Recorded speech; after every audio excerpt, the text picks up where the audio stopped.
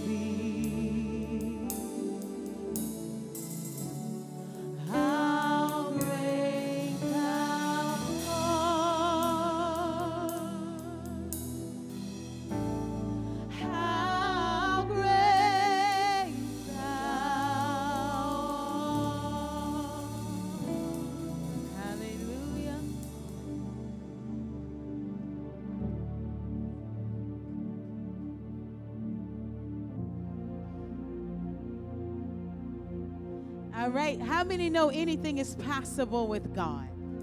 I said, How many know anything is possible with God?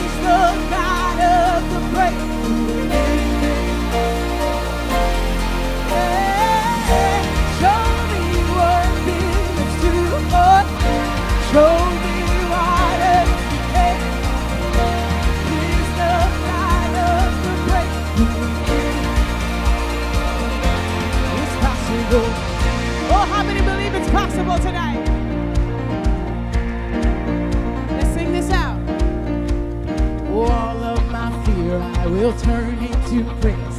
Shake off despair as I sing out your name. A victory dance, I will dance out in faith. I will crush disappointment and break. Whoa, oh, all of my fear I will turn into shame. Shake off despair as I sing out. A victory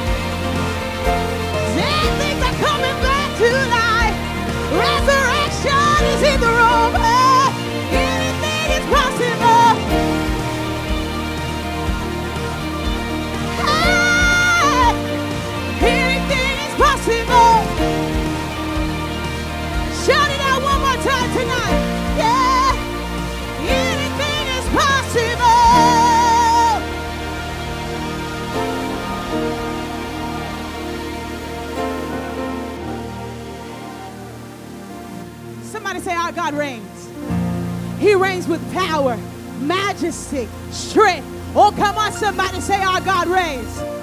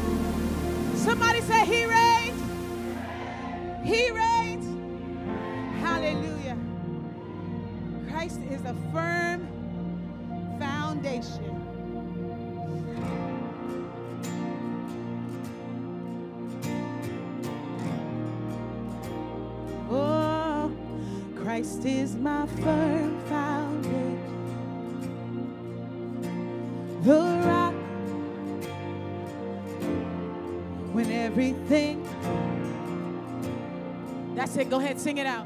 I never, I put my faith. Oh, you sound good tonight. You never get me. He's faithful through generation.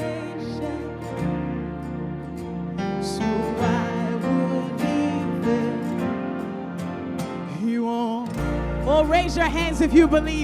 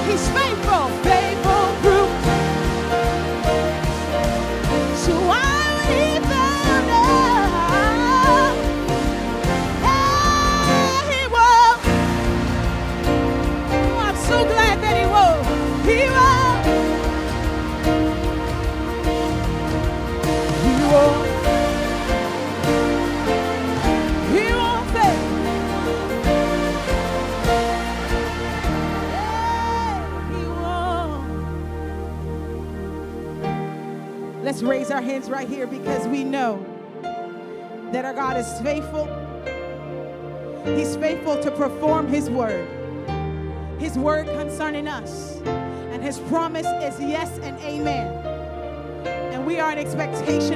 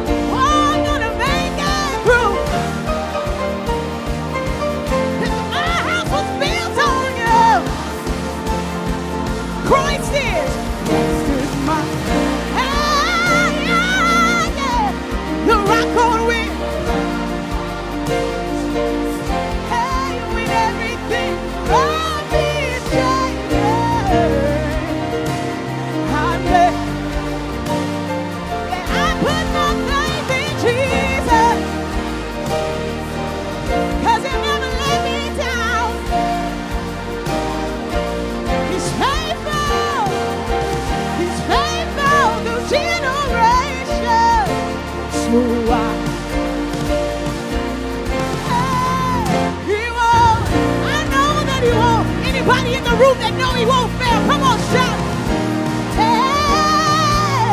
He won't fail. He won't fail. So he won't. He won't. Woo. He won't. Well, come on on this Tuesday night. Give the Lord Jesus a great hand clap in Lancaster. Come on, give Jesus a big, big hand clap. Hallelujah. Praise God. Out of the corner of my eye, I thought those were two full sleeve tattoos. Lift both hands to the Lord. Father, I thank you for all the great people of central Pennsylvania. Thank you for Camden, New Jersey. Thank you for New Jersey. Thank you for Maryland. Thank you for your hand that's upon the United States of America. Thank you for your hand that's upon the people who are here tonight. Father, all years you've been bringing in pastors and ministers that would like a fresh touch from God as they feel a stirring in their spirit of your plan to double the church and to be a part of this last great move of God. I pray tonight would be a major part of that in Jesus' name. Let tonight be a great of imparta- great night of impartation by the Holy Ghost. And for all these things, we're thankful and careful to give you all the praise, honor, and glory. For it's to you and you alone who it's due. In Jesus' mighty name, all God's people said, Amen. Give the Lord one more great hand clap. And you can be seated. Brother Devin, I'm very thin up here as compared to the rest of the week. So I'm very thin up front in the monitors. Um, we had a we had a welcome to Tuesday night. I don't know if I have, I can welcome somebody to their own town when I'm a visitor, but we'll try it. Welcome. How many came expecting to receive from the Lord tonight? I met a young man this afternoon, and he said, "When you came to our church, um, well, he was in meetings. I said, what, How old would you have been when I came to Dillsburg? And we figured it out he was nine years old. He was born with a heart problem, and he said, When I walked by him while I was preaching, he felt a warm feeling in his heart and could tell he was healed. His heart would get off rhythm, and uh, he'll tell on the testimony what else happened. But when I was thinking about what happened to that kid, we actually have a family that comes to our church in Fort Worth, Texas, from the meeting in Dillsburg, Pennsylvania. And um, they had somebody they knew, and of course, I still know that family. Um, their son was born with a major, what did he have? Tourette's. Not a stutter. I was going to say a stutter. He had Tourette's. And he had Tourette's so bad that they made him stay home from public school. They paid the family to homeschool him because they said, we can't have class with him in class. The kids would make fun of him when he'd tick plus the ticks themselves would throw the teacher off. You know, you have bad Tourette's when they say you disrupt public school too bad because you have to disrupt public school pretty bad for anyone to notice. And uh, he got, what happened was, he got baptized in the Holy Ghost one of the nights we were laying hands on everybody. And when he finished speaking in tongues that night, he never ticked anymore. So the, the way they noticed was his, everybody say a miracle. a miracle. My Uncle Ted says something, if you've ever heard him preach, he says, when, a, when, a, when you have a miracle, it's like a rock hitting a pond, the ripples go out. So when the miracle hits, there, there's residual effects. Just like if somebody dies early, you know, somebody might get depressed about it and have to go on medication. When the devil attacks, there's ripple effects. But then when God, when God's power is loosed, it does wonderful things even beyond the miracle. So the next day, that young man would help his father at um, an excavation company. And they had a big guy, big Irish guy. his last name was Kelly. I'm trying to think of his first name. But he, he didn't go to church. He wasn't, he wasn't a, he was a good guy and everything. He just didn't like church. So when he was working with the young guy, he noticed after a few minutes, he said, what, you haven't had one tick the whole time we've been talking. What happened? He said, well, they had this evangelist come in. For those of you who don't know, there's a church called Celebration Community Church with Pastor Mike Hammer. They had Adalis in for three days in 2011. Pastor Rodney Howard-Browne had just given me a word that everything was going to go in our ministry to the next level. And uh, Tuesday night, we had about double what was there Sunday night. This is March 2011. And uh, Dave Kyllonen from the Couriers is Mike Hammer's uh, father in law. So the Lord set it up because I don't think too many pastors anymore know anything about extended meetings. You know, my dad told me when he started out in evangelism, you used to have to, you would go two weeks no matter what. If the meetings went bad, the pastor would say, Well, we didn't get the breakthrough this week, let's go another week. And then if it went good, they'd say, Let's go another week. But now they don't even have really revival meetings. They just have maybe a conference every year with three different speakers, but conferences aren't revival meetings. They're, they're totally different. When you have three speakers in that all do their night, it doesn't build on each other. In fact, a lot of times it goes in the opposite direction. One guy preaches on miracles, one guy preaches against miracles. One guy tells you God wants to heal you of your pain. The next night they tell you there's a purpose in your pain. So it doesn't go anywhere. But when you have, when you have revival, the Bible says that Philip went to Samaria and preached Christ to them. Turn there with me. Acts chapter 8. Acts, the eighth chapter. I've been preaching out of this chapter for the better part of a month. Acts chapter 8 verse 4.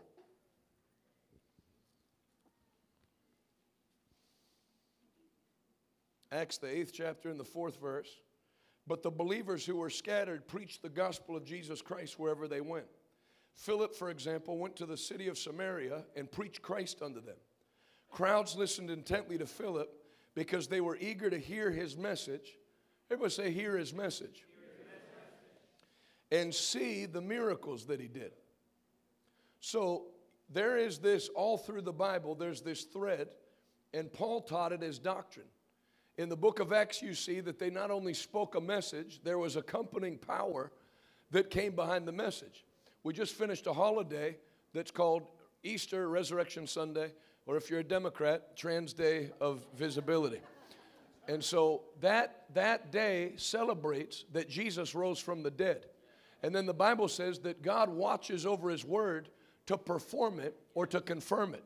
So, different than any other religion, when you preach the word of God, the God that authored the book is alive and he watches over it to make it good. So, Paul said three different places specifically Romans chapter 15, 1 Corinthians chapter 2, and uh, 1 Thessalonians chapter 1. Basically, words to the effect of, Brethren, when I brought you the gospel, it was not in word only, but in power. I did this that your faith would not rest in the wisdom of men, but in the power of God. Say that with me that your faith would not rest in the wisdom of men, but in the power of God. They came to hear his message and see the miracles that he did. Actually, let, me show you the three places in the Bible rather than just gloss over it. Go to Romans chapter 15. Romans, the 15th chapter. You guys have been great to preach to all week. If you're a visitor tonight, glad to have you. Thanks for welcoming me into your, your great town here. I love central Pennsylvania. I live out in Pittsburgh, but this, everybody knows whether they want to admit it or not, this is the best part of the state. Romans chapter 15. Amen. Romans 15. Paul said in verse 16, Since the beginning of this year, I've noticed something different happening in the meetings. There used to be a thing that happened when my dad started off in evangelism. My dad's still in evangelism. And when uh, he started out, if you went to go preach in Plattsburgh, New York, then all of the Assemblies of God pastors and a lot of the pastors in that area that were full gospel charismatic, they'd all come out to the meeting. There was a day, believe it or not, where preachers enjoyed being in church. And if they weren't preaching, they would go hear other people preach. But uh, then it started to turn into this every man for himself, every pastor hates the other pastor that's in the area. Why does he need to be here? I think he just wants to build a name. There was like this tension between pastors. But I noticed at the start of this year, the pendulum always swings back the other way. And you can see that that what happened in the 80s is starting to happen again where pastors i can feel every night when i go to preach I, there's pastors that are coming and they're not coming. Sometimes you'd have pastors come and they weren't there to receive. They were there to just give a report as to you know that nonsense that's going on there. But i, I can tell a difference now that people are coming to receive. I was in vancouver british columbia three weeks ago preaching and i went down into the lobby of the hotel and when i walked by there was a guy in a chair. I'd never been to western canada in my life. I'd never been, been past saskatoon and this guy said, Pastor Jonathan. I said, You know me? He said, Yeah. He said, well, I watch you on television. My wife and I flew in from Edmonton uh, to come hear you preach, and then we brought you an offering, and he gave me the offering. I took that as a sign. Then that week, there'd be people there from Calgary, Edmonton, out in the woods in British Columbia, uh, four hours away, Abbotsford, British Columbia. All these pastors would come in for the meeting. When I went to Los Angeles, I booked the um, Sheraton Gateway LAX, right by the airport, right across the street from the LAX airport. I felt quickened to do it on the fast. So I just announced about nine days ahead of time, I'm going to go to the Sheraton Gateway LAX, just booked it, brought my own band, and we'll see who comes. If nobody comes, nobody comes. The place, we had about 4, 407 the last night. I was only there two nights. First night we had three something, then 407, 2, 260 in the morning on Saturday morning. And then when I said, How many pastors are here that if we came back, you would like to be a part of this? Uh, 18 pastors raised their hand and 14 signed up to be a part of it. I don't even think you would have had that last year because it's almost like ministers would resent anything that happened that was outside of their thing. I don't want any evangelists coming here. You know, we have it going. But you can see it coming the other way now that people, maybe, maybe COVID and people's bad response to COVID, they realize they messed up and when you get weak, it takes your pride away. Now, if you'll just stay humble, nothing will ever have to happen to humble you. But then you'll notice when people when people are strong, they're different. And then when something happens, then you know something bad will happen. Nothing bad has to happen. But because of pride, the Bible says haughtiness comes before de- uh, uh, the fall and pride comes before destruction. When you let pride come in and nobody can talk to you and you know everything and you resent everybody else, then, then uh, uh, it opens a door for bad things. So if you will just stay in your Christian walk, humble and teachable, and ne- never being a, a big shot, when the Lord blesses you, acting the exact same way as when you were at level one, then nothing will ever open its door into your life to humble you. So I see now that churches used to have pride and they were strong. There was an article in Pittsburgh, in the local Pittsburgh paper, it was right on the headline. It named the denomination of church and it said that they're all emptying out. What will the response be? Is this the death? And it was written, you know, with their permission. They were saying, We don't know what we're doing, we're losing people. I think what the devil means for bad, God is going to take and turn for good. Because now people are reaching out and saying, you know what? We don't have everything figured out. We need to open ourselves to the move of God. I'm going to tell all the churches that are represented here in central Pennsylvania. One of the reasons, among others, that God brought me here is this is going to springboard a move of God in central Pennsylvania. Churches in this area are going to begin to double. If every church in this area doubled, it won't even come close to scratching the surface of the amount of people that are here. There's enough people to go around for everybody. Instead of us all fighting over a few families that are already saved, a move of God's going to hit the churches beginning this week where you're going to go out into the highways and hedges and compel people to come in. Can you say amen? So I want you to receive that tonight. When I say double, I don't mean some kind of weird prophetic double. I'm talking two times, you know, whatever amount of people you have in your church right now, multiplied by two. God will do that by the Spirit. There's boundaries in the Spirit that are broken in the Spirit. So if you are at a boundary that you haven't broken, 200 people, 150 people, until that's broken, you're always making an effort to try to get more people. But then if you will break that in the Spirit, uh, something weird starts happening. I was preaching in Pittsburgh at my home church. And my goal was to hit a thousand people uh, sometime. Well, we were only in month nine. We started off, they had given me the count 717 people. We had praise and worship for 35 minutes, then announcements. So by the time I was preaching, we were about 51 minutes into the service. And I'm preaching, and packs of 25 and 40 people are still coming through the door from everywhere. And I kept watching them, so they kept flashing me on the screen in the back. 840 exclamation point. That was a record. 913 exclamation point. 981 exclamation point. Then they put 994. I thought if it's if it stays at 994, I'm going to get chloroform and duct tape and get six more people and hit a thousand. I'm not having 994.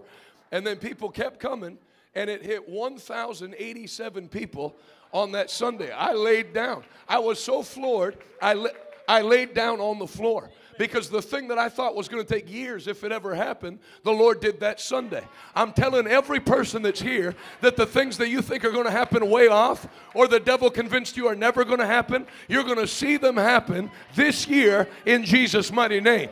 This is the year of the church of the Lord Jesus Christ, and there's nothing the devil can do about it. Come on, if you receive that today, let's celebrate it ahead of time. Clap your hands. Hey, I feel it. Hallelujah. Somebody shout, Praise the Lord. Praise the Lord. Romans 15, 16. I am a special messenger from Christ Jesus to you Gentiles. What a thing to write. If, you, if Paul was in the assemblies of God and he wrote that, would they let him keep his credentials? I don't know. I'm asking you. I, Paul, am a special. If you wrote that, who's a pastor here? Besides, what's your uh, pastor? Pastor Landon Ritchie, right? If you wrote to to the district, I, Pastor Landon Ritchie, a special messenger of Jesus Christ, they would at least call you in for a meeting. Excuse me. So there's a devaluing, and I'm not picking on the assemblies of God.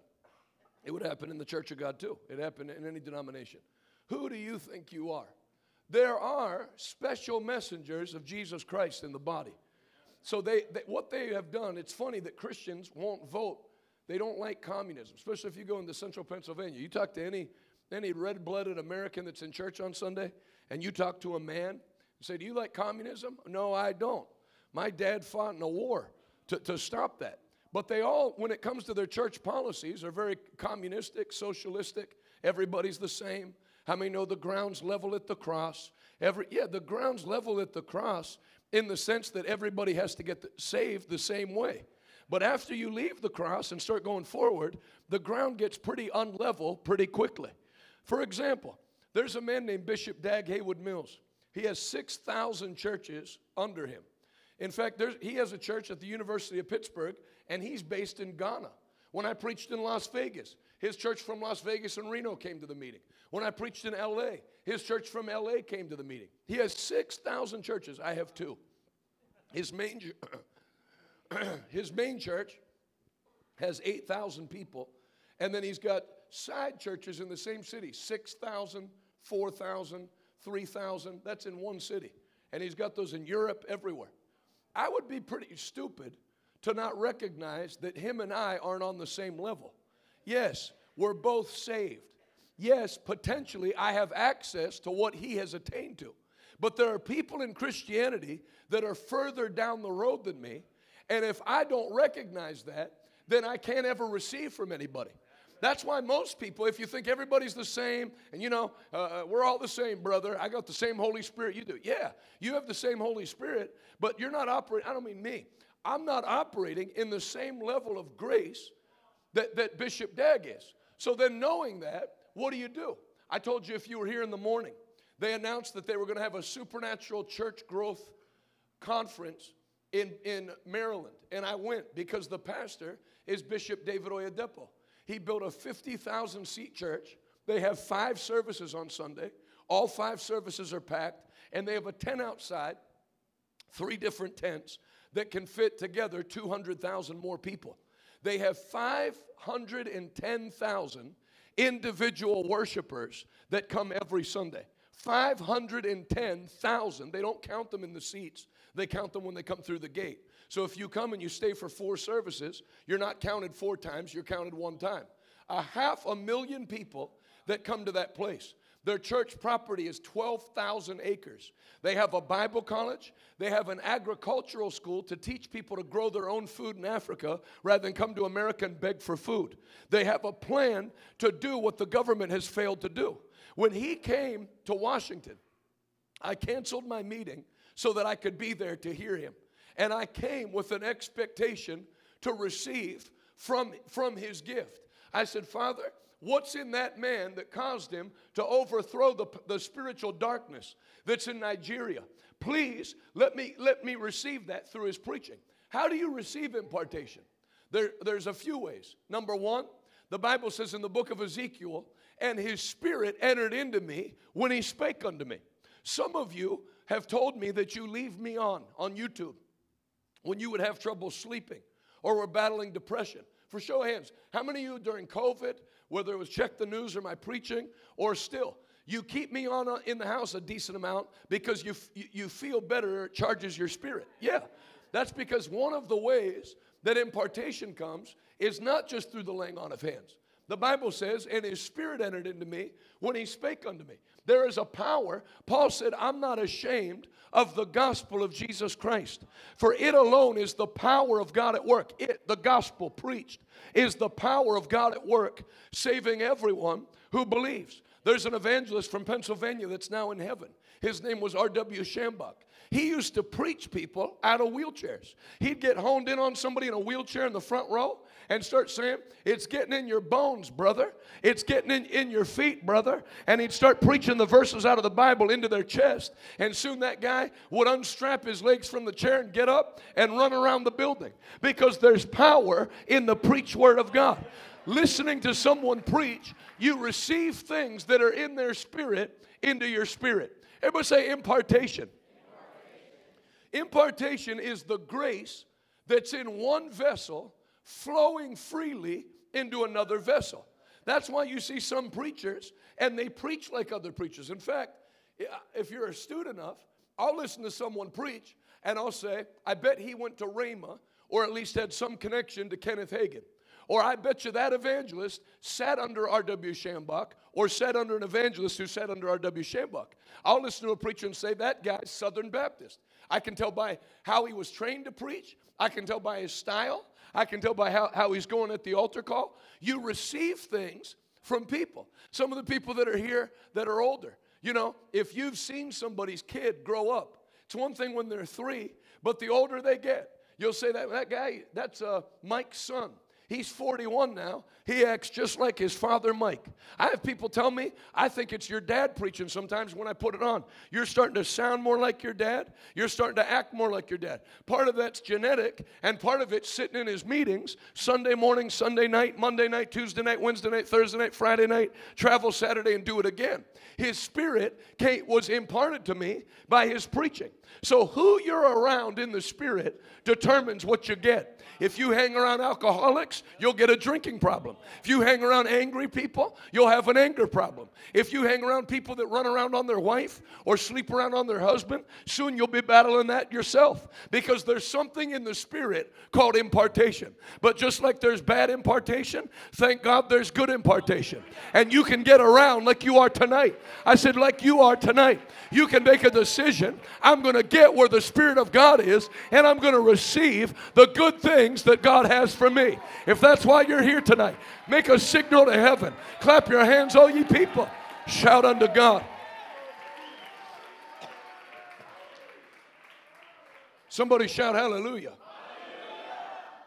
So I went to that meeting with Bishop David Oyedepo to receive. Everybody say, come to receive. I, I'm not going to spend any time on that because I haven't felt hardly anybody come here not to receive. It's like the people essentially, and, and I felt that all year. I felt it in Vancouver. I felt it in, um, Las Vegas at the casino that, that we rented to preach. First ministry that they allowed to rent a casino to preach since 1978. We, pre- we preached in the Plaza uh, uh, Hotel and Casino in their ballroom. First time they've let a minister on any casino hotel in Las Vegas since 1978. Everybody say the tide's turning. I felt the people come there with hunger. I feel people, I don't feel any opposition. I don't feel anybody with, with their arms crossed in the spirit, staring me down, checking me out. I feel like people have come knowing they need a fresh drink of living, of living water.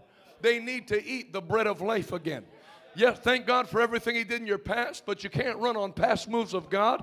But thank God there's fresh oil and fresh manna every day available for the people of God. Can you say amen? When you come to a meeting to receive, it's different. You get things. I was sitting three quarters of the way in the back. There's about a thousand people there. And I was there, you know, in the back. I was there to receive. I wasn't looking to get a good seat or anything. I want to receive. And so a guy comes up and taps me on the shoulder. He said, Bishop Oyedepo would like you to sit on the platform with him. Well, that's an honor. I had met him one time at his church in Nigeria. I didn't think he'd recognize me or remember me. He meets a ton of people, half a million people every Sunday, let alone the rest of the week. So I was honored and I went up and sat there. And then I, I remember, I could tell you what he preached. He preached for two and a half hours on, on a, a move of God that's coming to America and what pastors need to be ready for because soon America, he said, the Lord has spoken to me that soon America will not be full of mega churches, it'll be full of super mega churches. That the largest buildings in America will be to house the crowds that come to hear the gospel. You know, it would have been just as easy. He, he ministers in Nigeria. What does he care? It'd have been just as easy for him to fly over and say, Shame on this country. I can't believe all of the perversion that you've allowed. But he didn't. He came with a word to encourage the people, and it was from the Lord. So I sat there, I received from the word, and uh, felt good. And so when the service was over, I got ready to go home. And before I could get out of my seat, that guy came and tapped me again. And he said, Bishop Oyedepo would like you to join him in the green room where he's at. So my cousin Teddy and I went, went over. And there was about, I don't know, 38 pastors or so that were there. We, we were the, it was all Nigerians, so we were the only white people. And uh, he, he walked out of the restroom and he put his hands on his hips and he went, Bring me the two white angels. It sounds like a prison gang. So we came over, and when I came to him, I knelt down on one knee, and my cousin knelt down on his knee, both on either side of him. That's, that's something they do in Africa, and I wanted to, I didn't want to stand there like some jabroni American. Hi, hi, hi, Bishop. How are you? Good to see you. No, this is this is a mighty. This is a man of God sent to my generation, and I'm going to treat him that way. So I got down on one knee. Teddy got down on the other knee. I got down where his right hand was. Teddy got down where his left hand was. I was at the right hand because I have read the Bible. Amen. I wanted the, the extra blessing. So he said to you, he said to me, and, and let me throw this part in as well.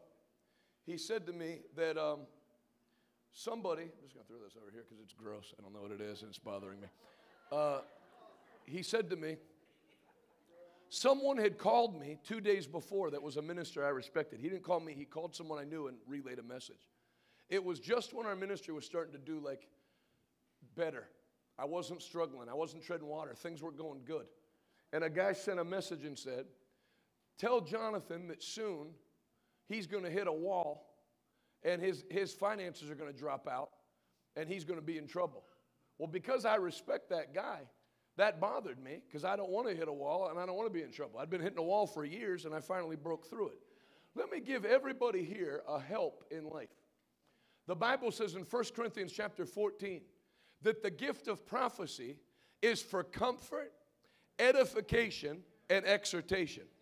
Well, I don't have to define comfort for you. Everybody knows what that means. Edification is derived from the same word like edifice or building.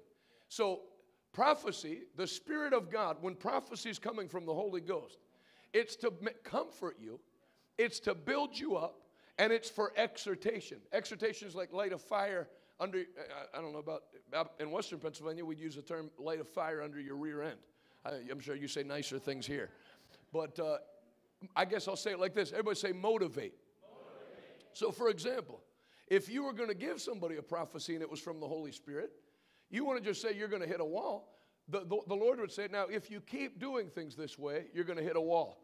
So do this instead, and the victory, it, it would always end where you left comforted, edified, and then felt a motivation to do something different.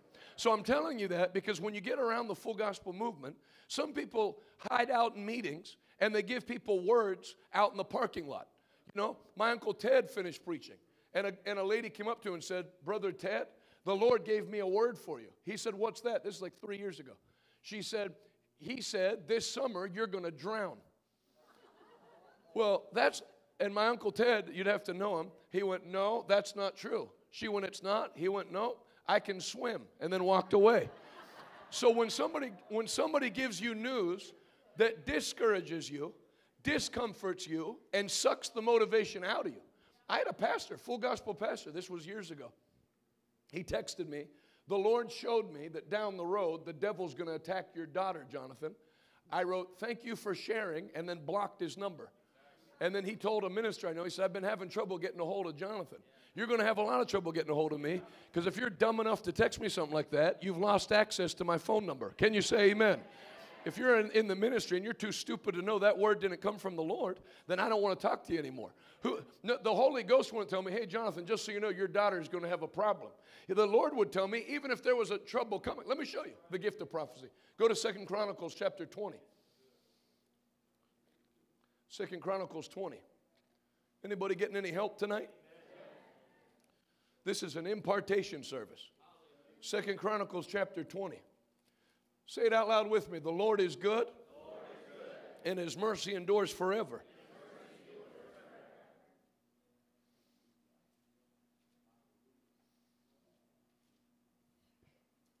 There's three armies getting ready to attack the children of God, and they might be able to take out one of them, but they can't take out all three at once. If you're playing basketball, you might be able to beat five guys, but if 15 are gonna, if you're gonna play 15 on five, that's gonna be a tough game. So they cry out to God, and watch what happens. The Bible says, You told us that we can come to the temple. Second Chronicles 20, verse 9. And whenever we're faced with any calamity, such as war, plague, or famine, say those three words with me war, plague, famine. War speaks of general unrest, broken home, enemy coming after your marriage, a child that you raised in the fear and admonition of the Lord that now is going their own way. General attack. Plague. Plague is Old English for incurable disease. That's why when I listen to these dumb, dumb pastors during COVID and evangelists, they're, you know, not just pastors, they were evangelists. I, one guy went to book an evangelist for a meeting. He said, I'm not getting on a plane and risking my life till this thing's over. So it, was a general fear thing. And they would say, Well, you have to understand, Jonathan, this, this is a new sickness that there's no cure for. Well, the word plague in the Bible means incurable sickness and disease. So there's not some new thing.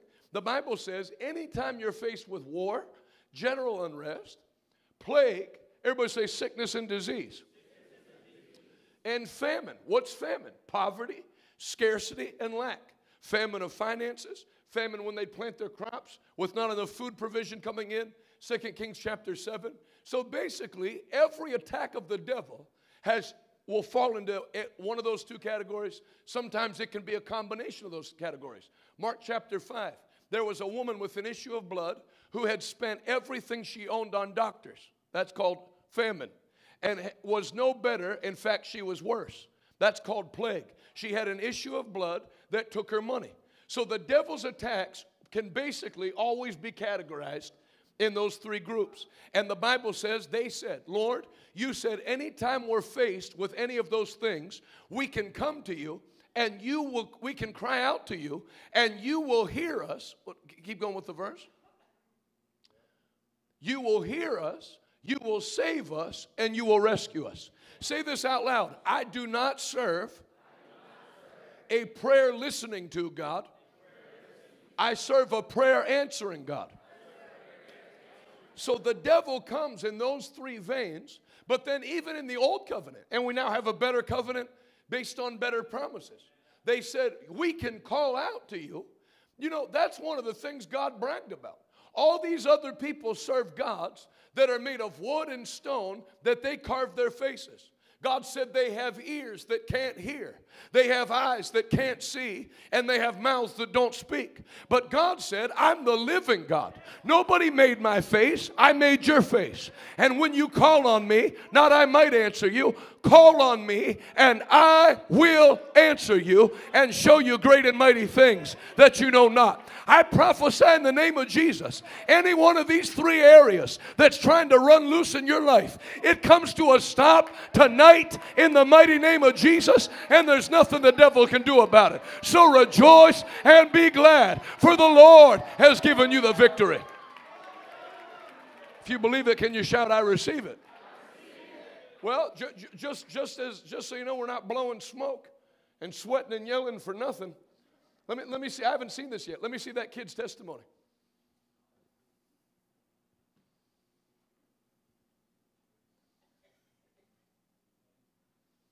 Okay, so my name is Garrison Decker, and uh, when I was a baby, I was born with open. Well, I had to have open heart surgery when I was younger, and uh, I had a hole in my heart.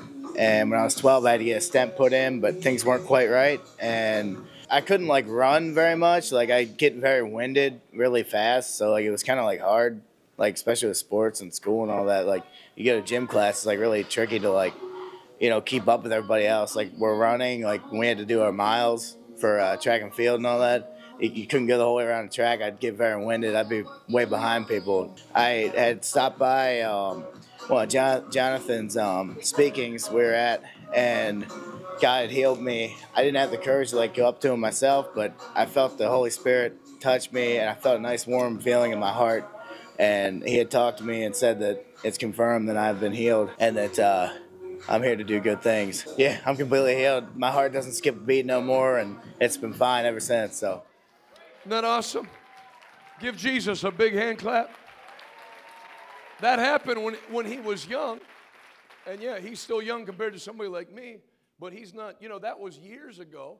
And they came to lunch with us today, him and his mother, and they, his mother was crying. Tell him what happened to your heart. She said he hasn't had any problems. You imagine that as a mom. Your kid's born with a deformed heart.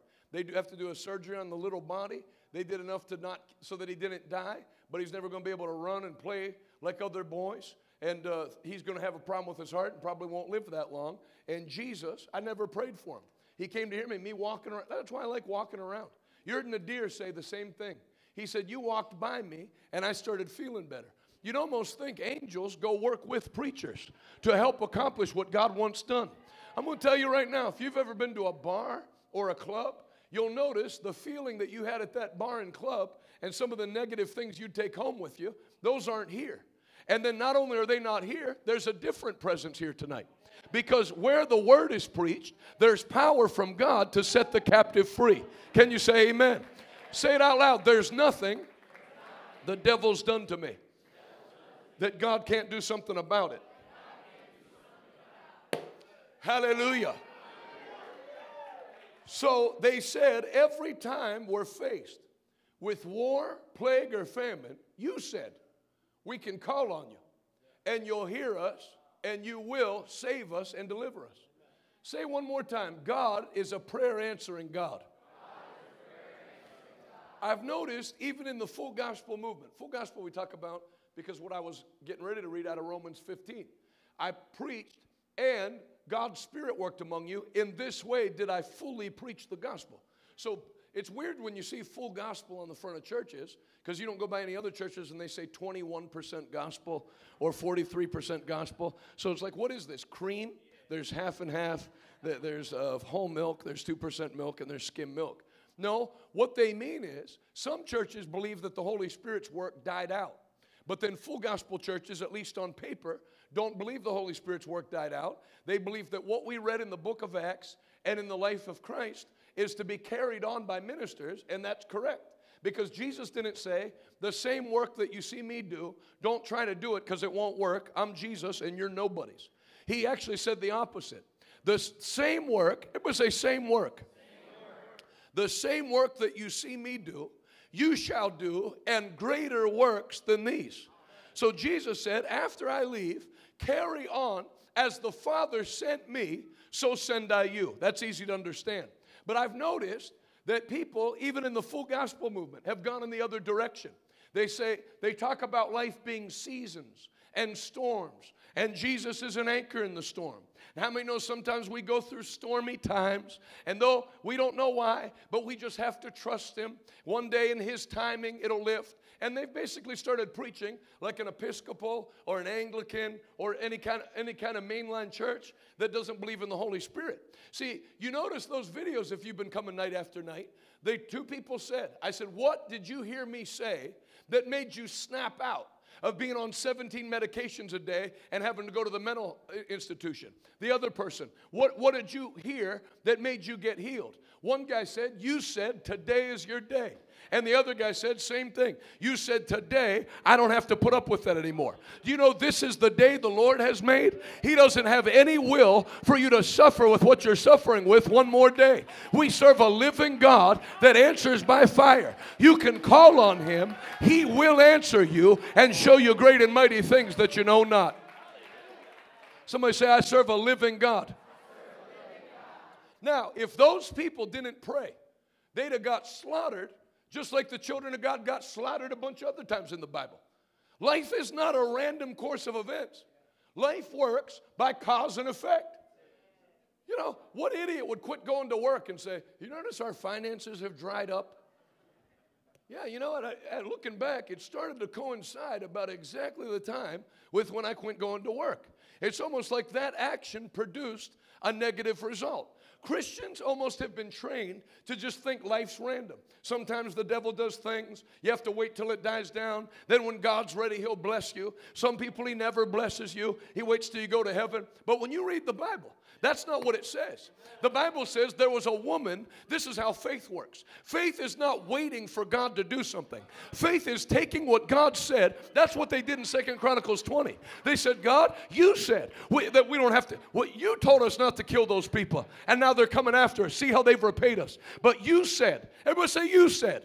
You said, I can come to your temple, and when anytime I'm faced with war, like we're being faced now, I can call on you. You will hear me and you will answer me. I am taking you at your word. I believe you're going to do what your word says you'll do. I take that now in Jesus' mighty name. Somebody say this I don't have to put up with the devil's mess. That's right. You can decide. Not in God's time. No, when you're ready. Whatsoever you bind on earth, I'll bind you in heaven, or I'll bind it in heaven. Anything you permit on earth, I'll permit and allow from heaven. Why? Because the earth is the Lord's and the fullness thereof, and all the inhabitants that dwell therein. Then the Bible says, the heavens belong to the Lord, but the earth he has given to the sons of men. Earth is not in God's domain, earth is in man's domain. It's not in the devil's domain, it's in man's domain. There's people here, obviously, if you're preaching in central Pennsylvania or about anywhere now, there's people that in their past, or maybe even currently, have had a drug problem fentanyl, heroin, meth, whatever, Percocet. Nobody ever bought drugs from a demon. Are drugs demonic? Yes. Did anybody ever buy drugs from a, a, a demon? You texted 666 and hit send. You rang. No. You had to buy drugs from somebody that's influenced directly or indirectly by demonic spirits uh, to get you that for money. And nobody gets saved by Jesus Christ directly or by angels. In fact, if you read in the book of Acts, when angels appeared to people, they had told them to go find somebody that was nearby that would go tell them the gospel. Can you say amen? amen. So I'm trying my hardest right now to preach out of you. Anything anybody's put in you that you wait for your healing. And in God's time, in God's time, when He's ready, the devil loves that preaching. Because when you accept that sometime in the future things are going to happen, then it gives him permission to keep knocking you around. But I came to tell that devil his time ends today because God said, when you say enough's enough, his power will back you and knock the thing out that the devil's using to try to take you out. If you believe it, can you say aloud, Amen? Somebody say, I decide. Say, enough is enough. Mark chapter 5. There was a woman with an issue of blood. Jesus never came to heal her. She wasn't sitting there and Jesus healed her. She heard about Jesus. And she said, everybody say she said. Think all the things she could have said. She could have said, um, well, if he's really doing all that, how come he's never healed me? She didn't say that. She could have said, When's he, eh, did he ever say if he's coming back this way again? She didn't say that. She wasn't angry and she wasn't passive. When she heard about Jesus, she said to herself, I know when I touch him. I, you know, whatever the Lord wants, amen. No, I know when I touch him. Not, I hope I'm made well. She could have said that. I hope when I touch him, I might be made well. I know when I touch him. I will be made well. And she didn't wait for Jesus to come there. She traveled to where Jesus was at. Then there was a big crowd of people around. She didn't say, Well, I tried to get to him, but he's always surrounded by people. She barged through the crowd and touched the hem of his garment. Jesus didn't know who touched him, he didn't heal her. She grabbed his healing power. Jesus said, Who touched me? The disciple said, Master, there's a whole crowd pressing around you. You're getting touched left and right. Jesus said, No, someone deliberately touched me. Think of that. So you can be in the presence of Jesus. If Jesus was standing here right now in bodily form, you could still leave this service with nothing because it's not just him being there. Somebody has to turn their faith loose for themselves and say, I'm going to get what God said belongs to me. I'm praying that that level of faith begins to rise in the people of Lancaster. Enough is enough. I'm going to touch Jesus tonight and I know I'll be made well. If that sounds like you, let him hear your hand clap one more time. Clap your hands unto the Lord. Give him a mighty shout of praise. Say it out loud I will touch Jesus. Yeah. Brother Schambach that I mentioned, he used to say something in his meetings that when I first heard him say it, it sounded weird to me.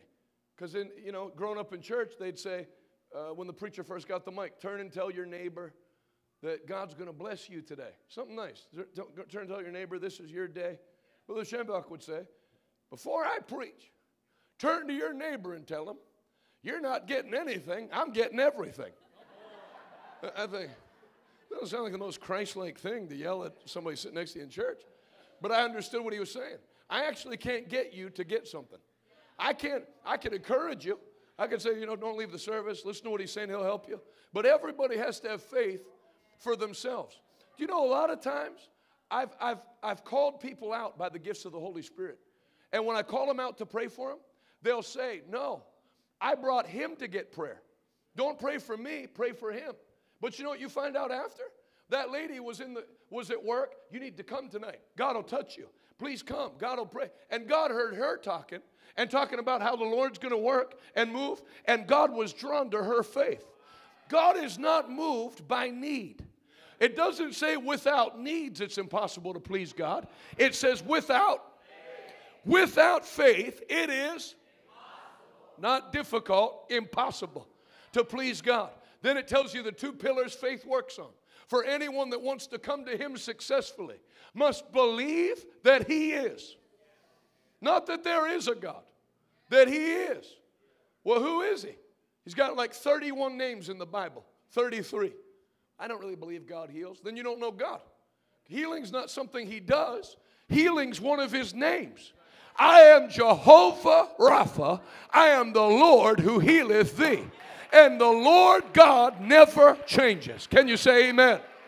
I am Jehovah your victory. I am Jehovah your provider. I am El Shaddai, the God of more than enough. I'm your banner of victory. I'm the Lord, your righteousness. You have to know who the God you serve is. And I came to tell you, you don't serve any God. You serve the God of Abraham, Isaac, and Jacob, the Almighty God. And He knows your name and's got an answer for you tonight.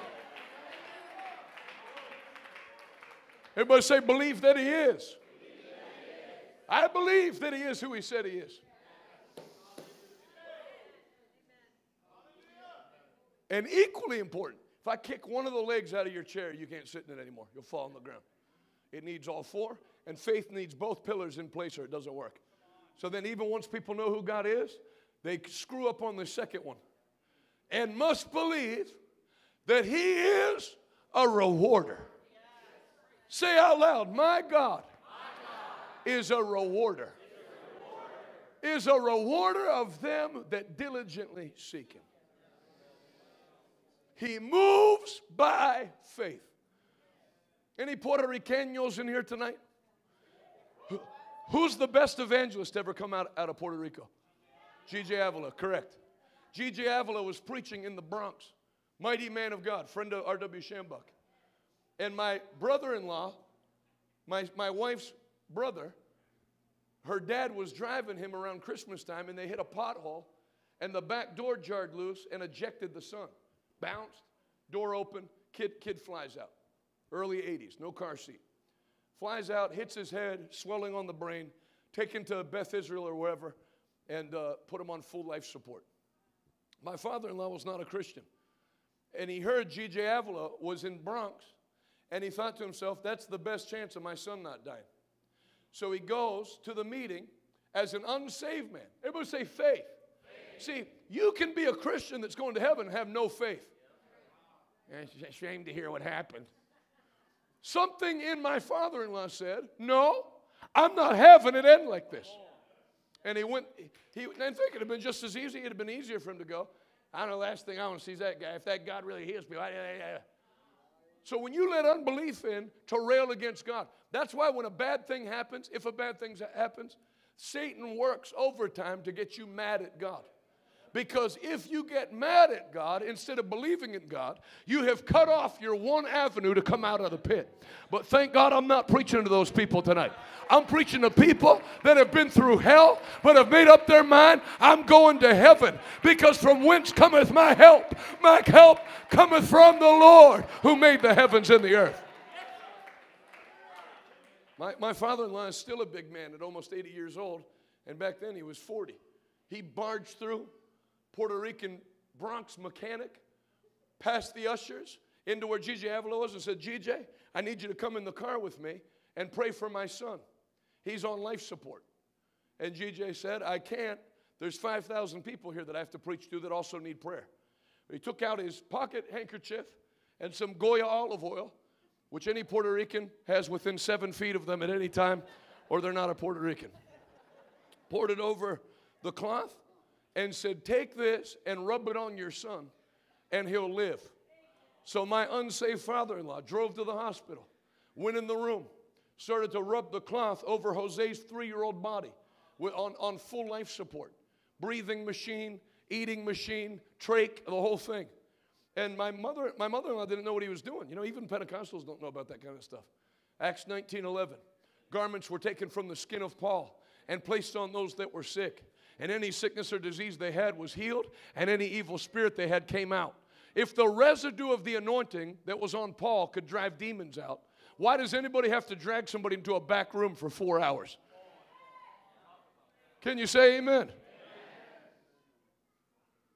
So he, he explained to my mother in law, no. He told, him, told her what he did, and then he left. Looked as dead as he did before he started. They were going to pull him off the machine.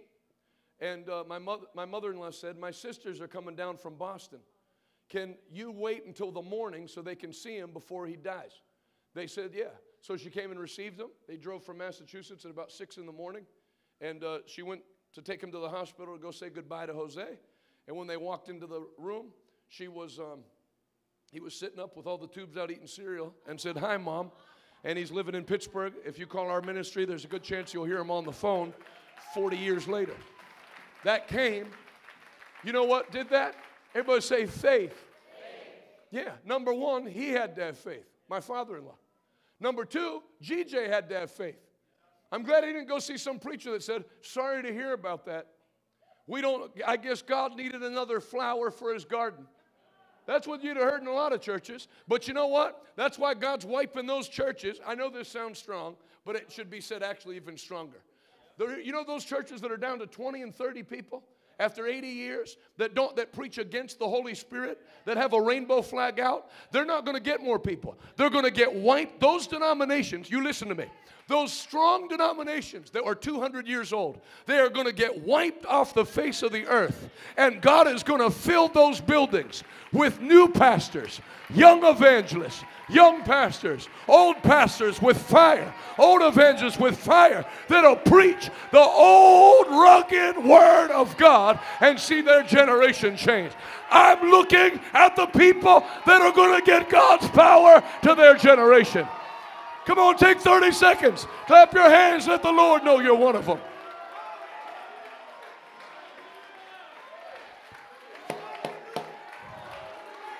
Somebody shout hallelujah. Somebody yell, I have faith. I don't have unbelief, I have faith. God will make a way where there is no way. I said, God's making a way where there is no way. Hallelujah. Man, think of what faith can do.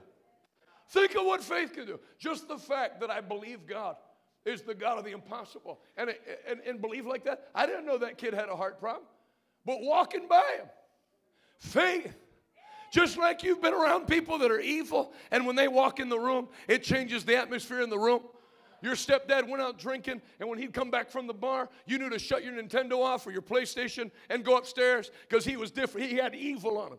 Well, you don't think, just like somebody gets evil on him from drinking alcohol, that you can't drink of the new wine and walk into a room and now the presence changes because God is going with you where you go. I'm leaving on Friday, but you're staying here. And you're going to stay here carrying the fire of God to your generation in Jesus' name.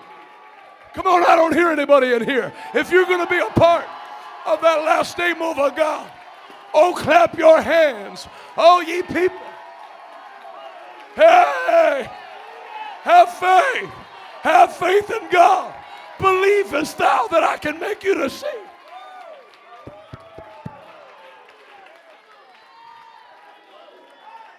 Somebody say, I believe God. It will be just as He said. Jesus did not teach faith as a coping mechanism or a life raft in the storms of life. I want to challenge all the pastors that are here. Take your Sundays. Do a, instead of doing a six week series on freaking relationships or time management, do a six week series on what faith can do. Week one, heal all manner of sickness and disease. Your church will break out in revival before you hit the second point of the sermon. Start telling people about the power that's available to them in the Word of God.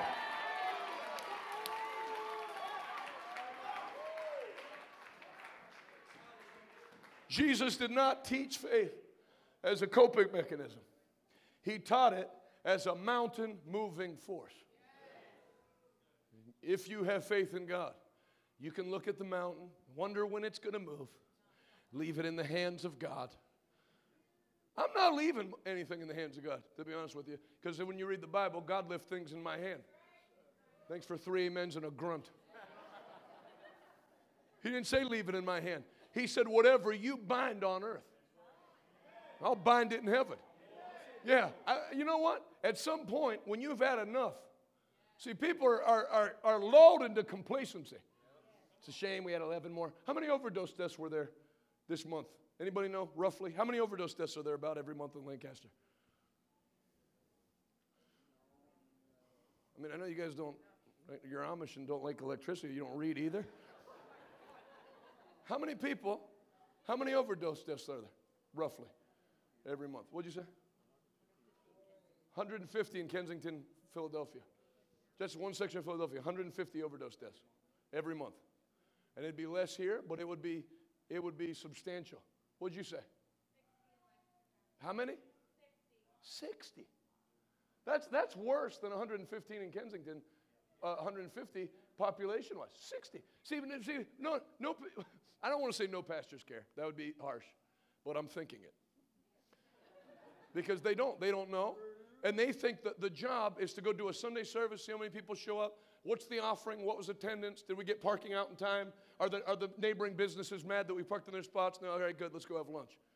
But what would happen if a new David Wilkerson came out of this meeting and said, You foul devil, you think you're going to kill 60 of my generation every weekend? I got news for you. I'm going to take you out. And we don't do our fighting with guns, we do it with a more powerful force. The Word of God is the sword of the Spirit. Now, I'm telling you right now, all you have to do to put a stop to that is find out where the drugs are sold. Just ask the, the DEA. They pretend not to know. Anybody knows. I know where drugs are sold in Pittsburgh. I'm not even in the DEA. I don't barely even leave my house or my church. When people are going into a barber shop and no one's getting their hair cut, something's happening.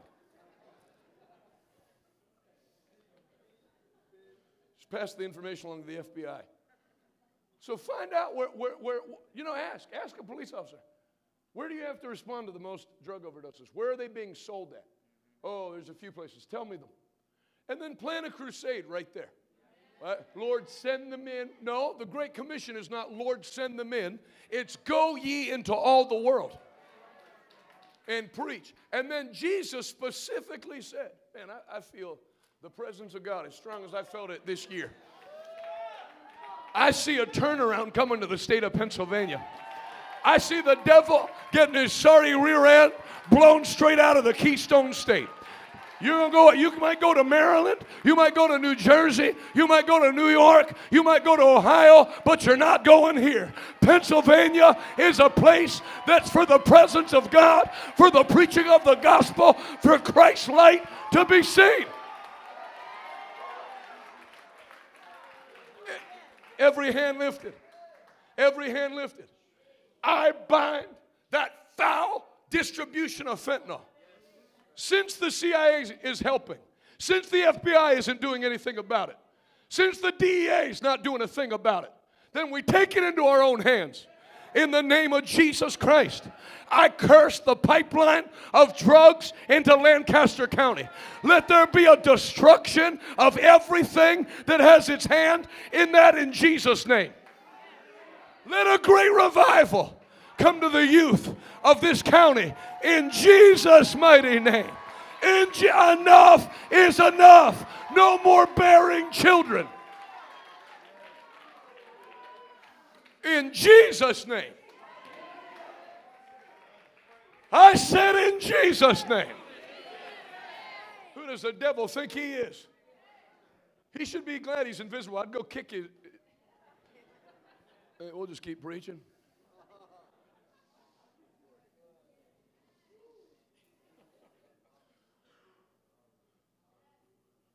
Well, Jonathan, you're bold. Did you ever think maybe I'm not bold? You just lost your huevos somewhere along the line.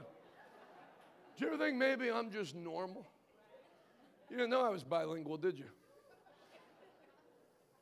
He's very bold. No, I'm not.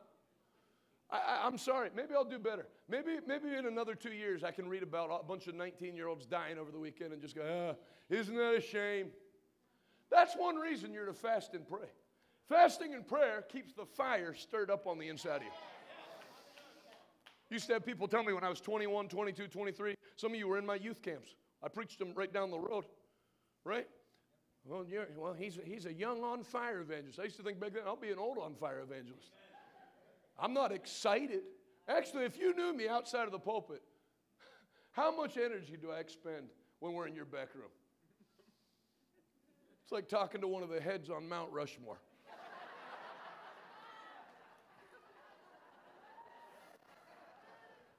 People come up to me after. I'd love to get, go out to eat with you and hear your thoughts. I just told you all my thoughts for two and a half hours. I have no thoughts left. The fire is not a function of age. The fire is not a function of race. The fire is not a function of culture or caffeine. The fire comes from the Holy Ghost. The fire puts something in you where you say, enough is enough. I'm not putting up with the devil's crap. The Bible says, anytime I'm faced with war, plague, or famine, I can go to you and you will hear me and you will help me. And I came to tell Lancaster tonight, help is on the way. Now, this, this, this church is going to become too full. It's going to become too full on Sundays, and immediately it's going to become too full starting tomorrow night. This church is officially in revival. This county is officially in revival. It's going to spread out of this meeting into the churches that are around here. You're going to take it home with you to Scranton, to Allentown, to New Jersey. The devil's in for the worst nine months that he's ever had in Jesus' mighty name.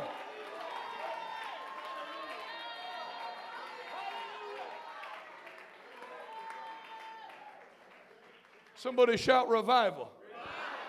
I'm here this week to light a fire Hey, tell, tell the truth. Tell the truth, lady in the back. Was I, was I, was I stronger at, in my 20s or stronger now?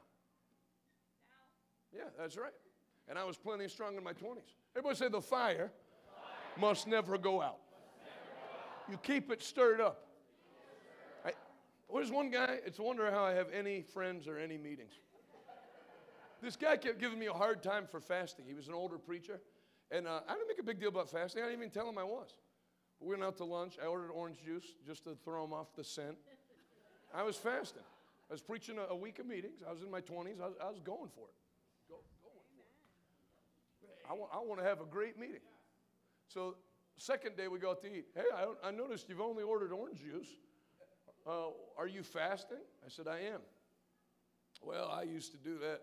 You know, I'm preaching at his church. He's in his 60s. 31 people, 34 people. No, I know people say, now, you know, you know, whether it's a big church or a small church, let me tell you something. If I was 60 years old and pastored a church for 40 years and there was 31 people, I would go fling myself off a cliff. it actually takes, boy, that went over really well. Normally, people like that kind of talking. I, I would. I would wily coyote myself. how? Do you, how? It actually, you have to be like spiritually deluded to have that few people. Because, you know, I have a wife. She's, her, both her parents are from Puerto Rico. She was born in the United States, but she's full blooded Puerto Rican. Spanish is her first language. If I invite her and her sisters and their kids and their cousin, you know, our church grew from 260 to 1,000 people. Much of that is just her side of the family moving down from Boston. I'm telling you the truth. Then the cousins started coming, and the cousin's boyfriend, and the cousin's girlfriend, and, and, and if I just if I just had their family over, we'd be just under 30 people. I think she had 310 at her quinceanera. I think she has 130 something first cousins. So how? I mean, I, brother Jonathan, I'm having trouble growing my church. You should have married a Puerto Rican. I've never heard a Puerto Rican say, We don't have any kids. We have a golden retriever that's like our child. You don't hear Puerto Ricans say that. Puerto Ricans have babies. So I don't understand. I don't understand, is basically what I'm saying. So he kept pressing me. You know, think of this with me. You would think, now if it was me, if I was in my 60s, and I invited this guy to come preach at my church, it's not just some guy he met at Cracker Barrel, I'm with him. And I notice he's not eating because he's fasting to, to have good services at my church. I want to discourage him. I'd say, you know what? I appreciate you taking these meetings seriously. God bless you. Well, with, with his belly hanging over the table. Well, I used to fast like that when I was your age. But I noticed that uh, God doesn't love me anymore when I, whatever he said. I start, my blood pressure was getting so high. Because number one, I hadn't eaten in two days anyway, so I already wasn't in a good mood. Then you start telling me you found a better way to do ministry. I mean, how can somebody be that deluded? Now, I'm going to tell you something. I don't know anybody's churches that are here. I'm not, I'm not doing this to criticize you. I'm doing it because there is in England, in Canada, in the United States, in, in, in the West, in the European ish places, there is a malaise that has come on pastors. Uh, you think it's normal to have four kids in a youth group, six kids in a youth group? It's, it's, a, it's a travesty. You think it's normal to have a handful of people and just let people die in the streets? Because they're not being reached with the gospel. So you have to address a problem before you solve the problem. You can't just pretend everything's all right. It's not all right to have tiny churches Sunday after Sunday. Yes, something might start small, but it can't stay small in God. So I tell you again get ready for a wind of revival to double your church, double your youth group, double your young adults group. Go get them. Stop waiting and move. Somebody say, enough is enough. Well, I used to do that. But I, I found out God doesn't love. I'm not doing it to get God to love me.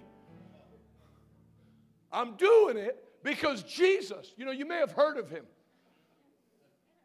He, I personally, I consider him a central figure in Christianity. Jesus Christ. It's one of the characters in the Bible. He said, Mark chapter 9, this kind cometh not out. This kind of demon doesn't come out but by prayer and fasting. I've cast two demons out in these meetings here one Sunday night, one Monday night. How many of you were here? How long did it take? Yeah, 30 seconds. You know what that came from? Skipping meals when I was 20. I don't have to take long. I make eye contact and they're out.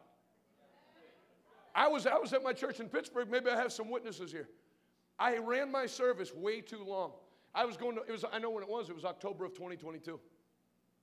And I had to go to Montreal. No, October, October 2023. I had to go to Montreal, and Canadian Customs closes at 3 p.m.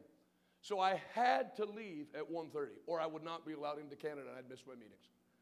So I, I was supposed to be done at 12.30. I got carried away.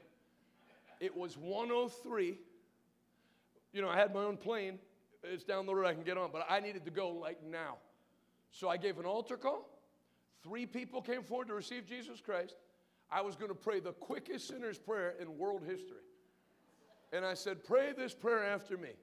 Father, in Jesus' name. And when I got to in Jesus' name, this lady threw herself on the ground and started screaming and jerking around like a snake. And I thought, You have to be kidding me.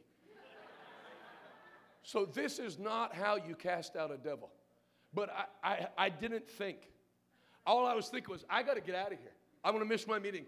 I went up to her and grabbed her by the arm, and I looked her in the eyes, and I said to the spirit, I said, Hey, I have a plane to catch. I don't have time for this.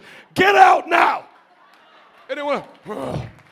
And she got up. I said, You good? I wiped the stuff off her mouth. You good? Everybody think, okay, good. All right, let's pray this prayer. Prayed the prayer, put into the altar workers, ran off the door, out to Canada. The devil doesn't set your schedule, and the devil doesn't block you. You make the terms, you do what God told you to do. That's what you're leaving here with. Come on, take 30 seconds, make a joyful noise. Clap your hands, shout. Move your feet. Wave your arms. Let everything that has breath.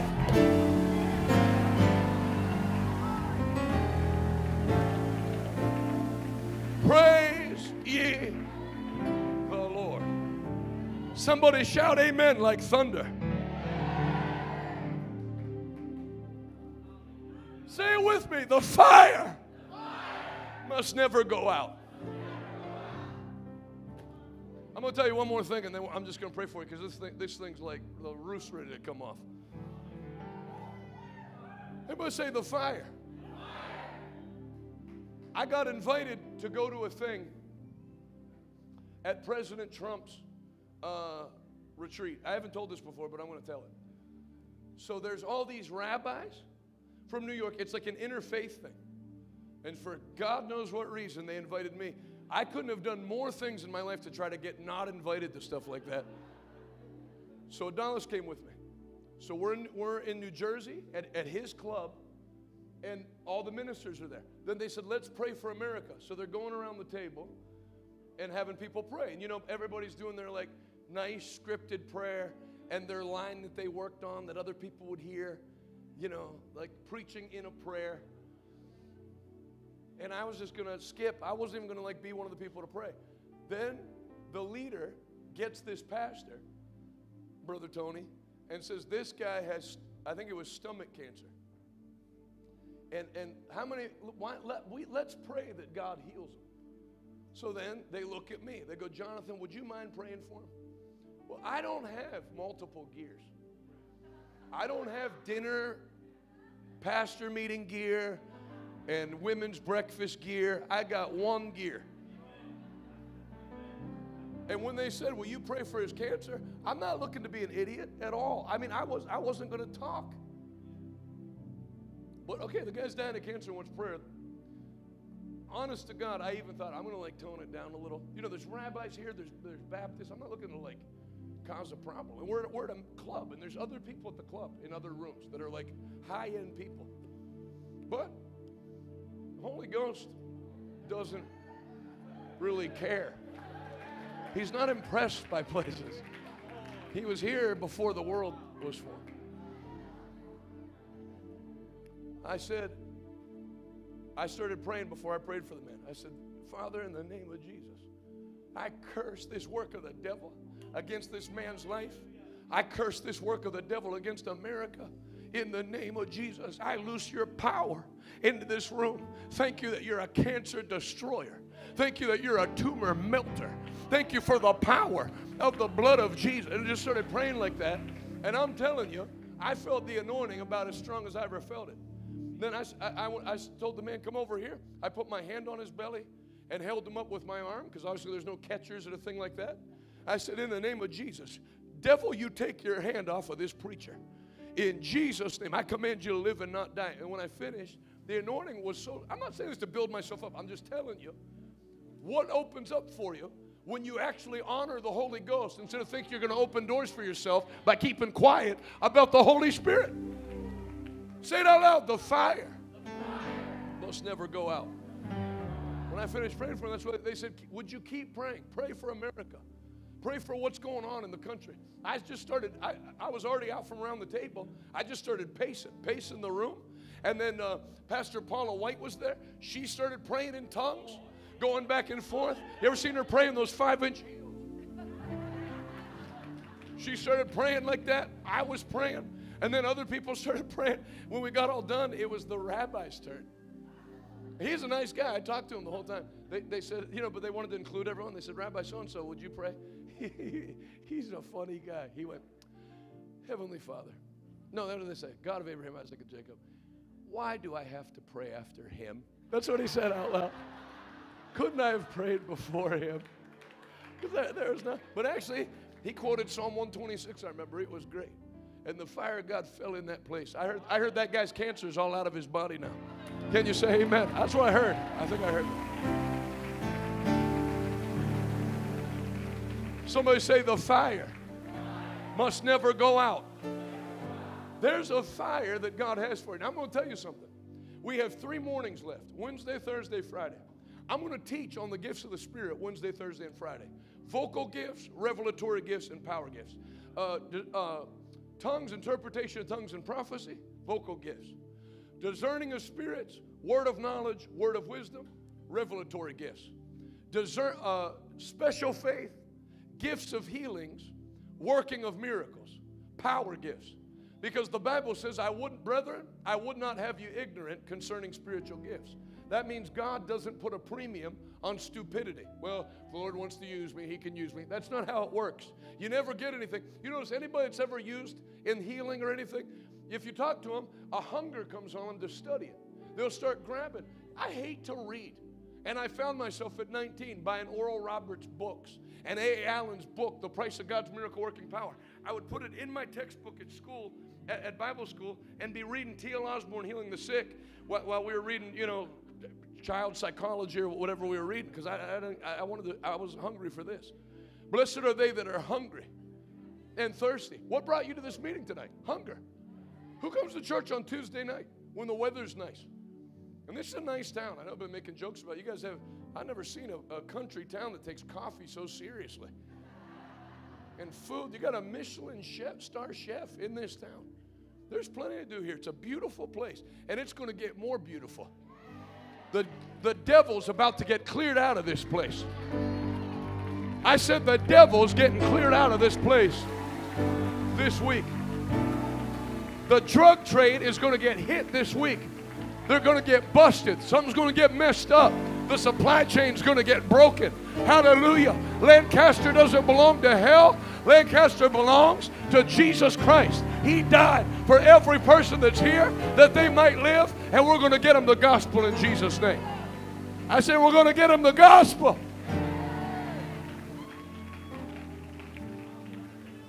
I want to I want to miss Wednesday, Thursday, and Friday. If you're in the ministry, I'd cancel plans because it'll, it'll be worth your time. I have a ministry. I will not waste your time. It's a big deal for a pastor to break his schedule to come to me. I'm not going to goof off. The services aren't Diet Pepsi and the night's Pepsi. We don't goof off in the morning, then have a real service at night. I double the services up because I'm here one week. I don't know if I'll ever be back. If the, uh, no, yeah, I'm, I'm not. You didn't do anything. You've been very nice to me, but there's so many places to go. Every place needs this. I almost, I almost canceled uh, Brother Tony. I almost canceled the meeting in, in Georgia two weeks ago because Vancouver went from 75 on Sunday morning to 340 on Wednesday to 502 Friday night in Canada. How do you leave? So instead, we, we, we, we planned it down the road like, like three months from now. We're going to do a crusade, We rent an auditorium. LA, I almost canceled and extended it. I was going to fly back for service Sunday morning in Pittsburgh and fly straight back and cancel whatever I had that, that next week. But I said, we'll just organize it down the road. The world's so big. That's why when I go a place, I take it seriously. I know a lot of evangelists just have some friends and go speak for them every year, but it, it's, it's, you can't, I can't do that. I'm hitting Lancaster, and I've been doing this ever since COVID because you never knew if you were going to be able to have church like this again, even though I did anyway. But I thought if this thing ever lifts and opens up again, I'm, I'm going to I'm gonna smack it. 10 a.m., 7 p.m. If they want to wear our staff out, I'd add a 2 p.m. I'm, I'm praying, and not only praying, I, I prophesied it a few months ago. So I'm just giving you a heads up of what's going to happen. The day is going to come shortly in America where we do a 7 o'clock service like this, close it at 10, clear the auditorium, and start a new one at 10.30 or 11, and run it till 1 in the morning. And we'll have two night services. And then when the revival hits full scale, we'll have a third one. There was a guy named George Jeffreys. Him and his brother, check this and then I'll pray for you. Him and his brother were in the Welsh revival. The Welsh revival was so powerful, it shut down rugby and soccer for a year and a half. It'd be like if they canceled the NFL in America for, for a year and a half because nobody'd go to the games. That's why if you listen to English soccer, some of the teams still sing hymns in the games, like Christian hymns. It's from that revival. When they did open it back up, people would sing hymns at the games. That was in the 1800s, which, by the way, the 1800s were worse than now. Just so you know, it's amazing what happens in America. The, the gun crime rate in Dodge City, Kansas, Tombstone, Arizona, was a hundred times higher than Chicago. Fort Worth, Texas, people just shot each other in the day, like over card games. Hey, I beat you in cards. No, you didn't. The place was a mess.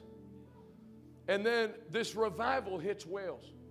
And one night in the revival, the whole church saw an open vision of a cross with a lamb on the cross with a crown of thorns, and there was blood dripping down the cross. And everyone looked at it with their hands lifted. Some were speaking in tongues. And two little boys, nine and 11 years old, Stephen and George Jeffreys, got up from their seats and sat under the vision.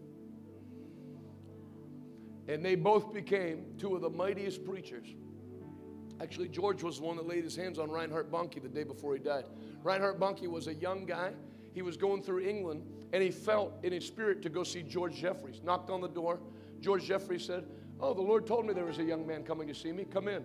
Laid hands on him and prayed for him for about 20 minutes. And then he found out he passed away the next day. Then Reinhard Bonnke went and, and, carried that mantle on. Everybody say, The fire, fire. must never go out. So, when jo- Stephen Jeffreys, his brother, had mighty miracles. You ever see an evangelist pray for somebody and one leg's like four inches shorter than the other? There was a guy whose leg was born deformed. It was 18 inches shorter than the other one. And Howard Carter, the head of the Assemblies of God, went to the meeting to check it out. They had to move the meeting to, to Royal Albert Hall in England. 10,000 seater, 8,000 seater. It's still up today. It's an old, old building. People got healed. Blind people got healed. Born blind people got healed. He would do the service, 90 minutes, pray, preach, pray for the sick. Then he'd go in the back and have grapes and cheese and some juice, lay down. They'd clear the auditorium. Then there'd be a line of people over a mile long waiting to get in. They'd bring in the new group. He'd do it again an hour and a half, go in the back, clear it out, bring in the new group. And it went 24 hours a day like that. People didn't care if it was 4 in the morning, 8 in the morning, 11. Now, that happened before, and that's going to happen again.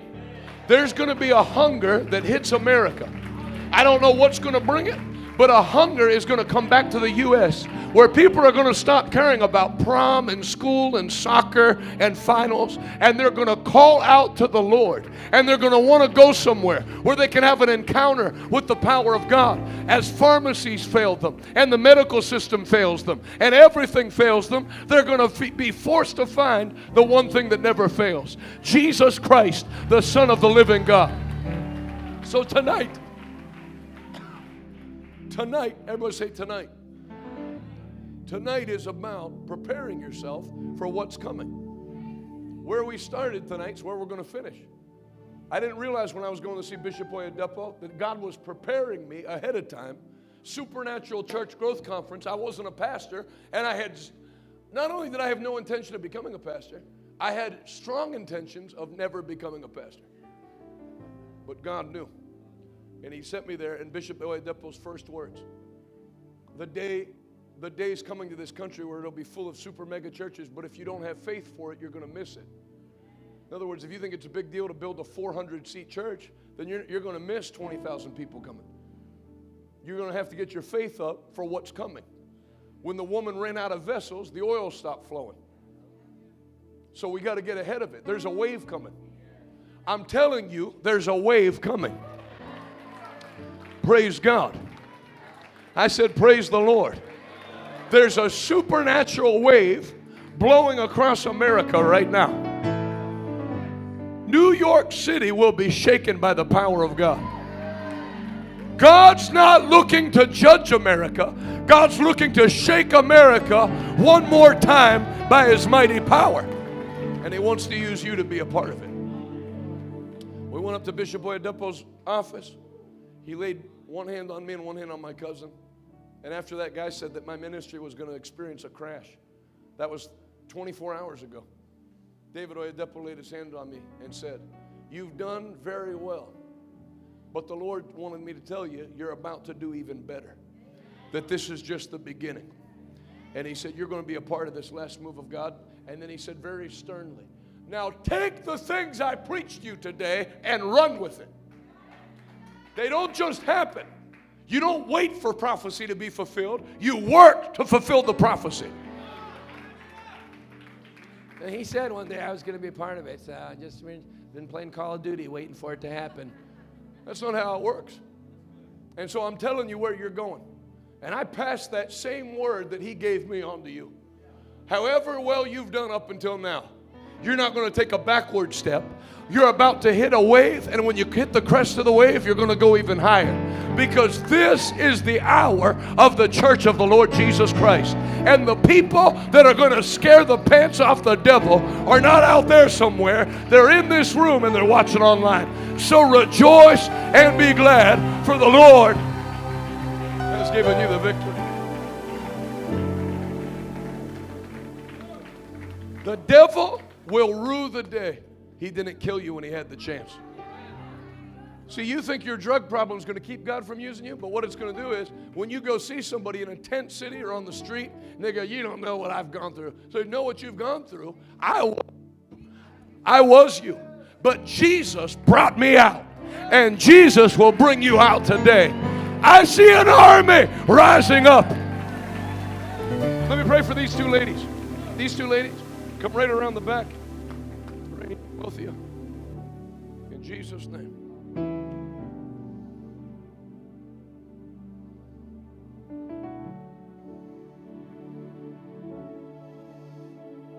Hand of the Lord's on both of you.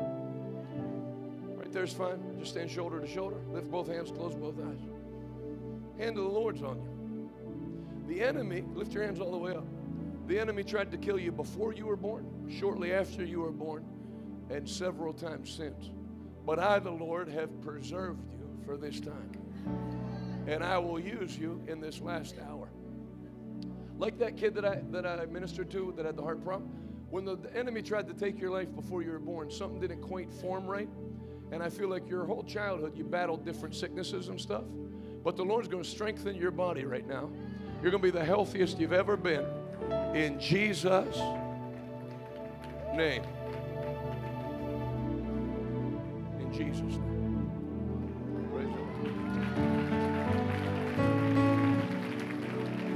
I see a fresh wind. Every hand lifted it. Let the anointing come in this place even stronger right now. Sing this if you know.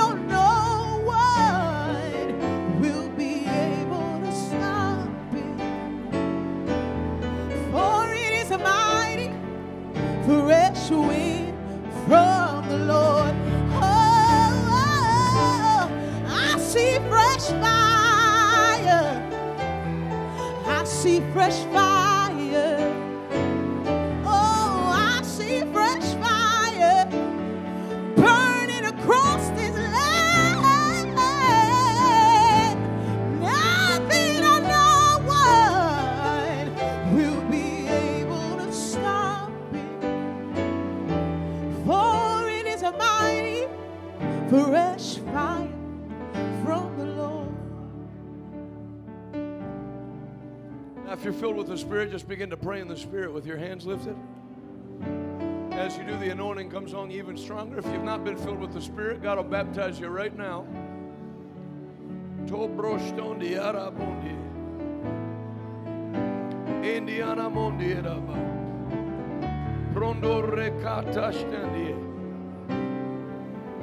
Indiana mondi. Begin to cry out to God from your spirit. Rondo re bastandie. Rondo re mandie. Ikarega. Ibostondi aramondi eraba. Rindia. Thank you for allowing us to be a part of this last move of God. Come on, pray. Pray in the Spirit. Pray in English. Pray in Spanish. But everybody's mouth should be moving. Hondo rekata. Iskandiana mondi. Birandiana bobraga. Dindiana moreka. Dios te bendiga en el nombre de Jesús. Milagro- Milagros de Dios. El fuego de Dios. En el nombre de Jesús. Rindiaraba. Rindiarabostere. Rindiaraba. Explode this meeting this week, Father. Explode this meeting this week, Father. In Jesus' name. In Jesus' name. Rindiana mondie. Bristoni araba. Rindiana mondie. Panda rekato steka. Indiana mondierabo. Prondo rapasta. Indiarabo. Ricata. Eska. Fresh fire. Fresh anointing. Fresh power. Fresh fire. Fresh anointing. Fresh fire. Rindo rokoto stede. Fresh anointing fresh fire, fresh power, fresh fire, fresh anointing, fresh power, fresh fire, fresh anointing, fresh power. Who's she? Say it again. Your cousin. Bring her up here. You can keep playing, Brother Tony. Nice to meet you. Lift both hands, close both eyes. Hand of the Lord's upon you. This is an endowment of power for ministry. When you speak, God's power is going to move. Even if they have you speak at like some ladies' breakfast or something, if they have you open in prayer at a ladies' breakfast, it'll mess the breakfast up. In Jesus' name. In Jesus' name. Fresh fire. Fresh fire. Fresh fire. Fresh fire. Fresh fire. Fresh fire. I pray every person leaves here tonight shaken up for eternity. You'll never go back to normal after tonight. You will never go back after nor- to normal after tonight. Fresh fire. Sing it one more time, Sister Clarita. fresh fire. I see fresh fire. Oh, I see fresh fire burning across this land. Yes, nothing or no one will be able to stop it. Nothing or no one This year's going to finish revival. be able A to stop it. revival. Hey, for it is a mighty fresh fire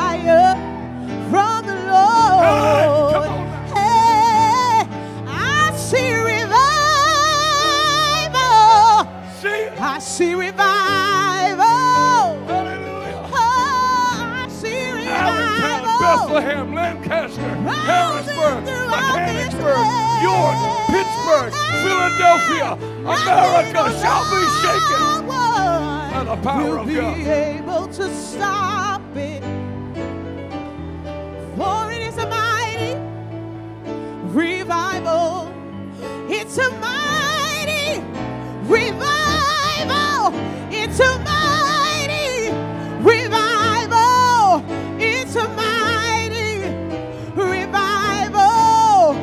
A mighty revival from the Lord. Nicole McKay, quickly.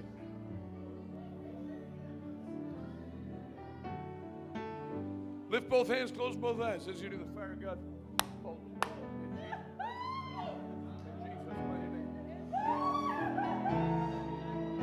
In Jesus' name. In Jesus' name. If you don't like this kind of noise, I can, I can recommend a hundred churches in the area. That's it. Take it.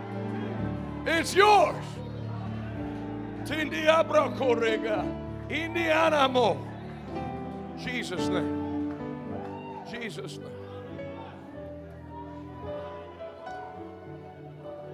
This this fella in the lifestyle Christianity t-shirt, come right out. Lift both hands, close both eyes. Now, this God's going to add something to your arsenal. This is an anointing to handle the Word of God, to teach and preach. The anointing to teach the Bible and preach the Bible, along with praying for people. In Jesus' name. In Jesus' name.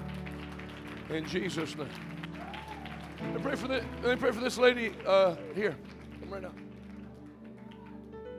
I've seen you in another church before, huh?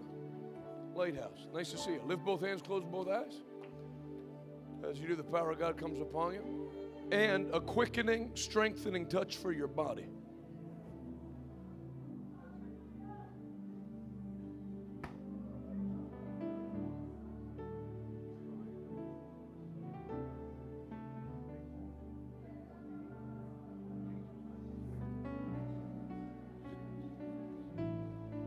Is brother is brother Vern still here? Pray for him, but I think he's here all week. So if he, if he had to leave, I'll get him another time. Praise God. Hallelujah. My friend from Revival today, come around. I'll meet you up here.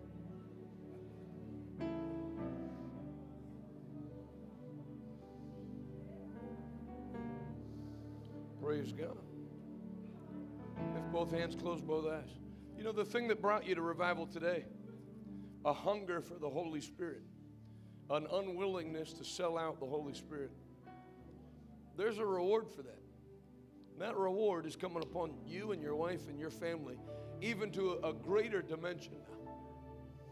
Blessed are they that hunger and thirst after my righteousness, Robbie Phil. He goes to my church in Pittsburgh. I preach till 1, 1 o'clock 10 a.m. to 1 p.m. And then you drive another four hours to be back Tuesday. That's, that's hunger for God. Most people would sit in a three hour sermon and not come back for two more Sundays. Jesus' name. I pray for this young lady here. Uh, button up shirt, black undershirt.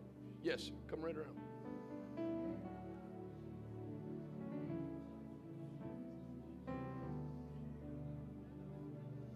How many of you feel a fresh wind? Lift both hands, close both eyes. As you do, the power of God comes on you even stronger. I see open doors.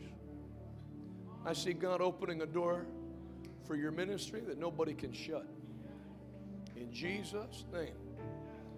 Thank you, Lord Jesus. Thank you, Lord Jesus. Thank you, Lord. Blessed be your name, O Lord. I pray for this fellow in the gray polo. Come right out. I've seen you at a church before, huh? Where? I pray for you too. Shoulder to shoulder, lift both hands, close both eyes. That's it. You look healthy, but I'm telling you, the Lord is doing a miracle on the inside of you right now. Total miracle.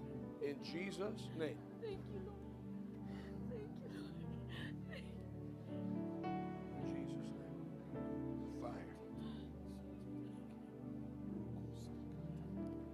Now, I don't say this stuff much, but I'm going to start saying it more.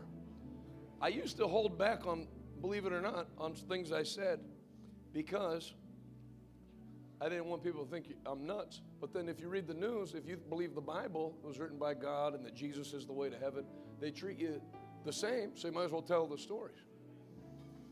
One of the times I went to go see Rodney Howard-Browne, I prayed for this lady in the black shirt, red band. Come right out to the middle. Here, go around to the, to the middle aisle.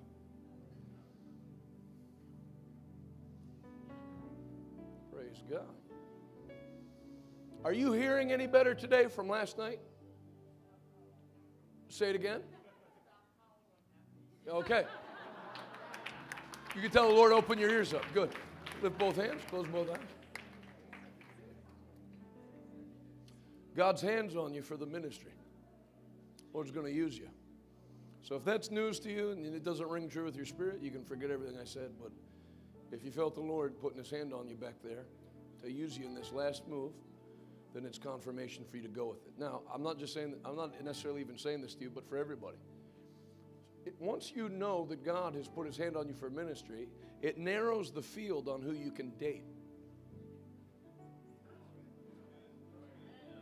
It's very hard to have a ministry if, if your wife uh, loves to drink and fight. It hurts your ministry. So you have to find somebody that's in the same. That's what the Bible means about not being unequally yoked. You find somebody like when I married Adela, she was in Bible school without me, training to be an evangelist without me ever being on the scene. She's going to do that whether I came on the scene or not. So then we just yoked up. I didn't try to get the bartender at Chili's to come with me on the road. Amen. Lift both your hands even higher, close both eyes as you do the power of God that was on there on you back there comes on you even stronger. That's it. Now, you know they say on Christian radio that we push the people down, and you can clearly see that we do.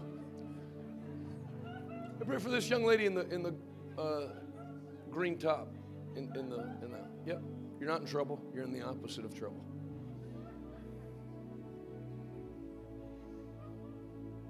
Then people say that they pay people to do that. Where would you get the people? I'll pretend to fall under the power for cash.com. Then there's like a drop down menu and you pick how many people you're going to have. Nice to meet you. How do you know them? How do, how do you, that's your daughter. So I knew her when she was a baby then. This is awesome. How old are you now? 12. How old were you at the first meeting? 21. Praise God.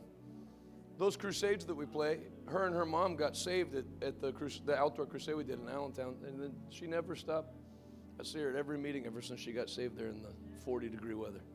You come, you're, God's hand's been on you since the womb, since you were in your mom's womb. Lift both hands, close both eyes. This is the fire of the Holy Ghost. In Jesus' name. You'll never be the same from tonight. God will keep his hand on you. God will speak to you in the night hours.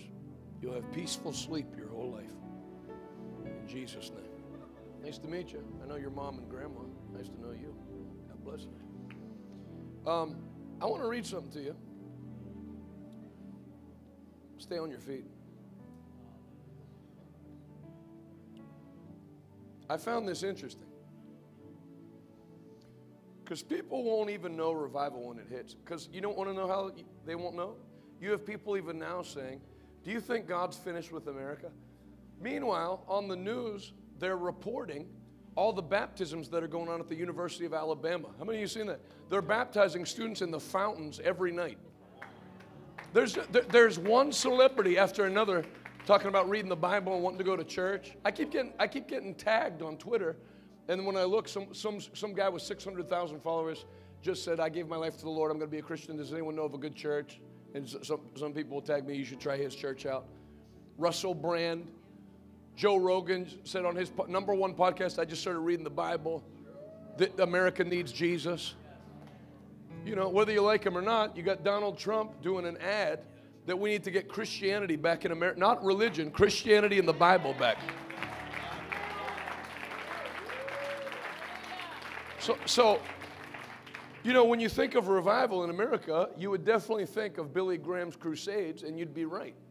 And his best crusade in America was his New York crusade in Madison Square Garden. Somebody sent me the article. Billy Graham's New York crusade got off to a rousing start last night. He said it could be the beginning of a spiritual fire that will sweep the nation and ignite the world. A crowd of 18,505 filled Madison Square Garden. That's a lot of people. But it's not.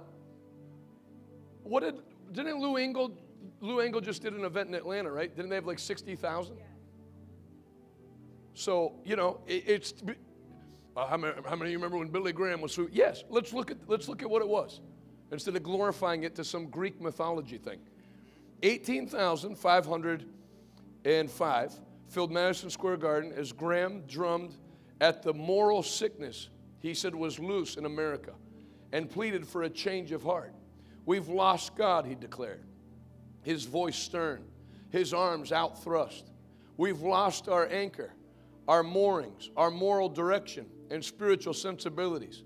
At the end of the sermon, when he appealed for those who would give their life to Christ to come forward, 485 people came. Now, 480, which uh, he said it was the largest first night response he's ever seen from the pulpit in America. Now, I'm not knocking his meetings or trying to elevate anything I'm doing anywhere near to the level he did it. He was there for six more weeks and then finished in Yankee Stadium. But I played you that Easter crusade that we did in Pittsburgh. What was it at the altar? 401 or 407? It was, only 80 less. Then my dad simultaneously had 300 in Texas. So you, you glorify these meetings like they 18,400 at the altar. We had more people come to the altar how many of you were at when I preached the district youth convention at, at the Giant Center? Anybody from there? You know, so many people came to the altar that the head of the Giant Center said, if you do that again next night, I'm going to close the meeting down because it's a fire hazard. don't, don't run me water. I just inhaled rum. Let me get one good one. All right, I'm done. Can anyone suddenly not smell or taste anything? No, I'm just kidding. So, um, and ever since I had that bat soup from the Chinese restaurant, so we had, I think we had 1,600 people come to the altar there. It backed up, it backed up the aisles and stuff. So I'm not knocking Billy Graham. He's my hero. I'm saying people, I, I'm telling you, right now, you could have 18,000 people come to a place and 400 come at the altar, and you'd have people go, I believe a revival will come one day to it. It's like, what do you think it is? So, you know, look now, I wouldn't take this for granted. I know this isn't a Reinhard Bonnke crusade, but you also can't fit 1.8 million people in this building. So to have the church packed out to the bathrooms, and on Sunday night, packed all the way to the lobby, people driving in from New York City, what do you want? parking problems, lady that owns the building up, you know, people upset about where people are parking. Who was at the Dillsburg revival those three weeks? Starting to get calls, people parking their trucks up on people's lawns. That's revival. Amen. America is in a revival right now. And it's going to grow and grow and grow the remainder of this year. What if this revival hits so hard that you forgot it was election night because we had just already taken over. Can you say amen? And pray for Brother Vern. Love you, brother. Honored to have you. Just stand right there, it's fine. Lift both hands all the way up. Fresh fire, fresh oil. Everything that was prophesied over you at Rhema, the Lord puts gasoline on those prophecies. Jesus' name. You're going to have a great year, my friend. Every head bowed, every eye closed. If you're here tonight,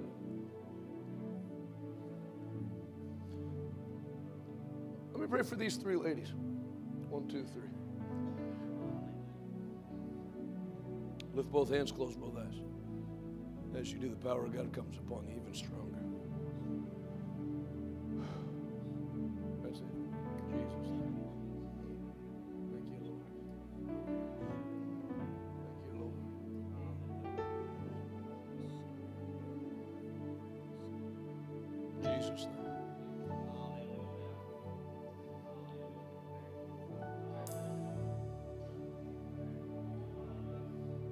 Every head bowed, every eye closed. If you're here tonight and you've never made Jesus Christ your Lord and Savior, you need to do that 10 minutes ago. This is no hour to be living outside of relationship with God. You need to be born again. You can't live in sin. Jesus is coming any second now. You know, when, the, when they say they have to sacrifice red heifers, spotless, blemishless red heifers, to rebuild the third temple, and there hasn't been one born in 2,000 years, and they've got four right now that are ready to be sacrificed before Passover, I'd get right with God. I would not sleep with my girlfriend tonight or any nights till the wedding. I'd get my life right with God. Where I lay my head to the pillow every night and know I have peace with God. I would not roll the dice any nights with my eternity. If you're here and you've never given, think of it. Can you identify a specific time in your life where you made a public stand to make Jesus Christ your Lord and Savior? And then, secondly, if you have done that, are you living a pure and holy life right now? If you answer no to either of those, no, Jonathan, I never have. I'm not asking if you go to church.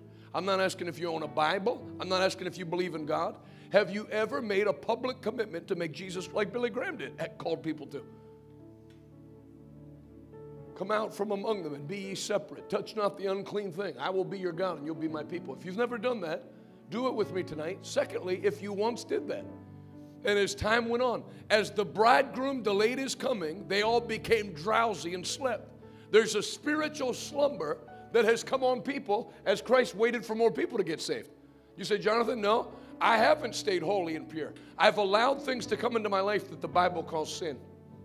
But tonight I give my life I'm not going home on my way to hell. I want to make things right with God. I want to settle my account right now. If that's you and you need to do that, I want you to come out of your seat and join me up front right now. I'm going to pray with you. Come right now. I'm not going to hold you long, but we're going to pray. We're going to get your name in the Lamb's Book of Life. Come right now. Everybody needs to make that commitment. Come right now. In Jesus' name, come. Come. Today's your day. This is your day. Come right to the center. God bless you. Who else before we pray? I need to make things right with God today. Good. There's another. Keep coming. God bless you. I want to get my sins forgiven. I want to be under the blood. Anybody else before we pray? So proud of you. Say this prayer from your heart after me. Heavenly Father, I give you my life. Forgive me of all my sins. Wash me in your blood. I believe in my heart you raised Jesus from the dead. I confess with my mouth Jesus is Lord and my Savior. Come into my heart, Lord Jesus. Fill me with your power. Where I was weak, make me strong. In Jesus' name. Amen. Lift both your hands to the Lord. Let me bless you. I bless you in the name of Jesus. The arrows of the wicked won't come upon you. The shield of faith quenches every fiery dart of the devil. The battles you fought before tonight, you won't fight them anymore. In Jesus' name. Have another. In Jesus' name. Jesus' name. You'll never be the same. Welcome to the family of God. Make sure they get literature from the church and stuff so they can plug in here. How many, how many, uh, how many people in full-time pastoral or full-time evangelistic ministry? Not you have, not you post like prophetic poems on a blog, like you have like a church that has like a roof and stuff, not like one in your heart. How many full-time pastors do we have here and full-time evangelists? Put your hand up. Let me have all of those ministers come and line up across the front in front of these. I want to pray for you first.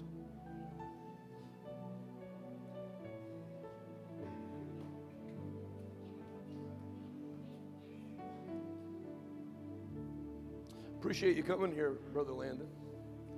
I was glad. When's that church going to be ready, roughly? This December. Tell your dad I say congratulations. That's awesome. Really awesome. Praise God. That's a lot of preachers.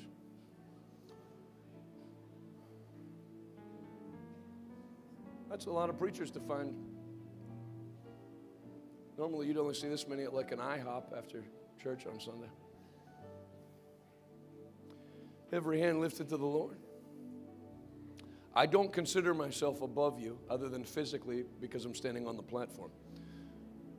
But I'm doing this to bless you that whatever good things God's put in my spirit, I'm going to loose them by the laying on of hands to give you a little boost to double by December 31st. Two times,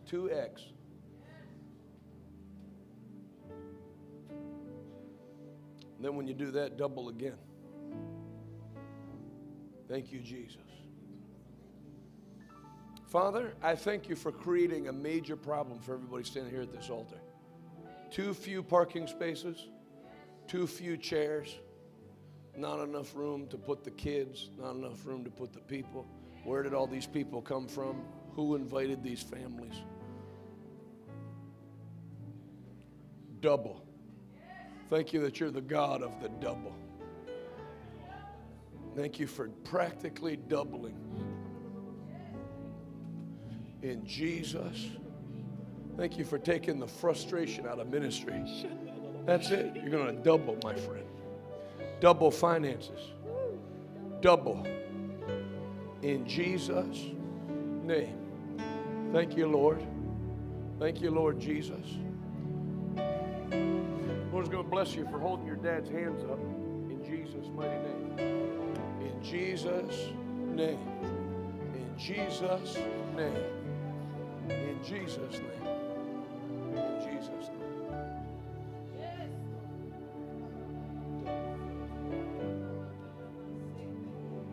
Jesus' name. Praise God. Well, whether you're at the altar in your seats, Sister Clarita is going to sing one more song. I want every, every hand lifted. Let's sing this together in Jesus' name.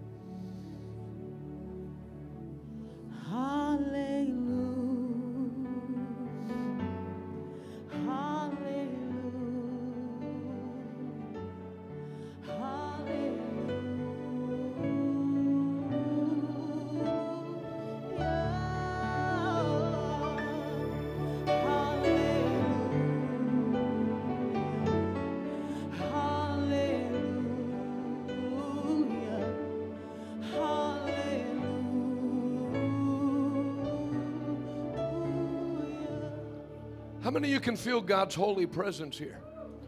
We're going to sing a song that whether you're Mennonite or Assemblies of God or whatever you are, you probably know this song. It's called We Are Standing on Holy Ground. And the anointing is going to get even stronger. I'm going to pray for everybody that wants prayer tonight. But let's sing this song through a couple times. Every hand lifted. Go ahead and take it, Sister Clarita. Deep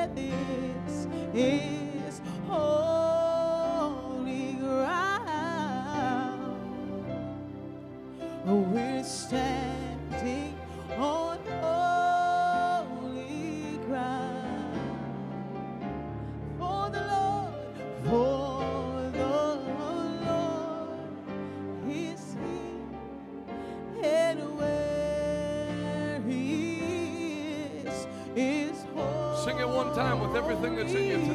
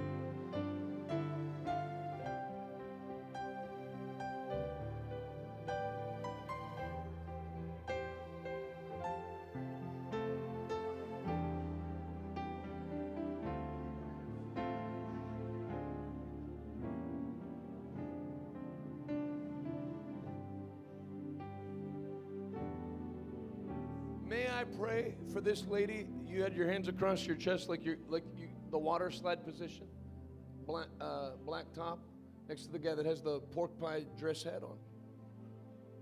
Yep, and the lady, the young lady next to you. Let me pray for both of you. Both of you are wearing black. I don't know your names.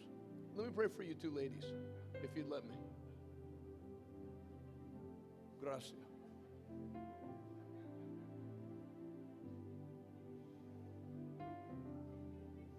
While they're coming up, let me pray for this lady in the colorful top, three, row three by the exit there. Come right up. Right there is fine. Lift both your hands, close both eyes. As you do, the power of God comes upon you even stronger. In Jesus' name. Go right through you. There it is. Thank you, Lord.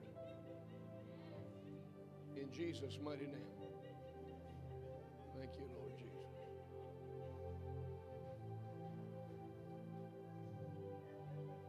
Español, inglés, or both? Español, English. Uh, dos manos to el Padre.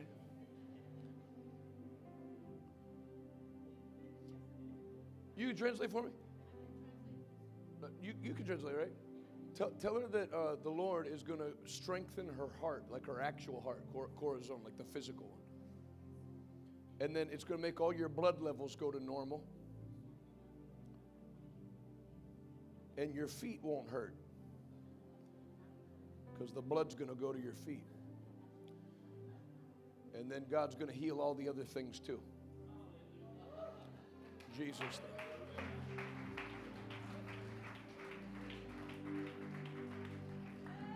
Tell, tell her to put her hands up where her heart is. I won't do that. God's going to strengthen your heart right now. In Jesus'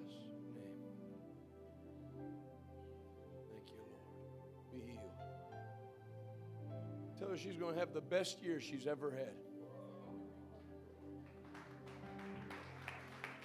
Now, if you would lift your hands, God's going to give you an extra blessing for helping me preach the gospel tonight and being my interpreter.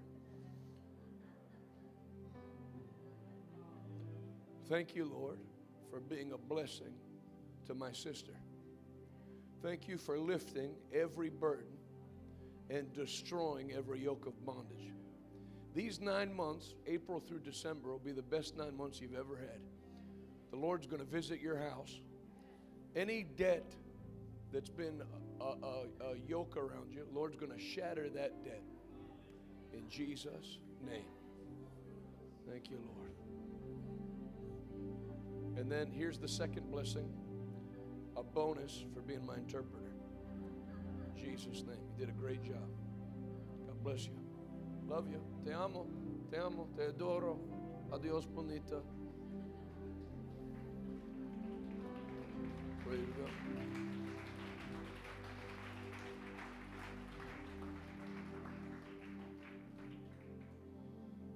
Somebody say, Praise the Lord.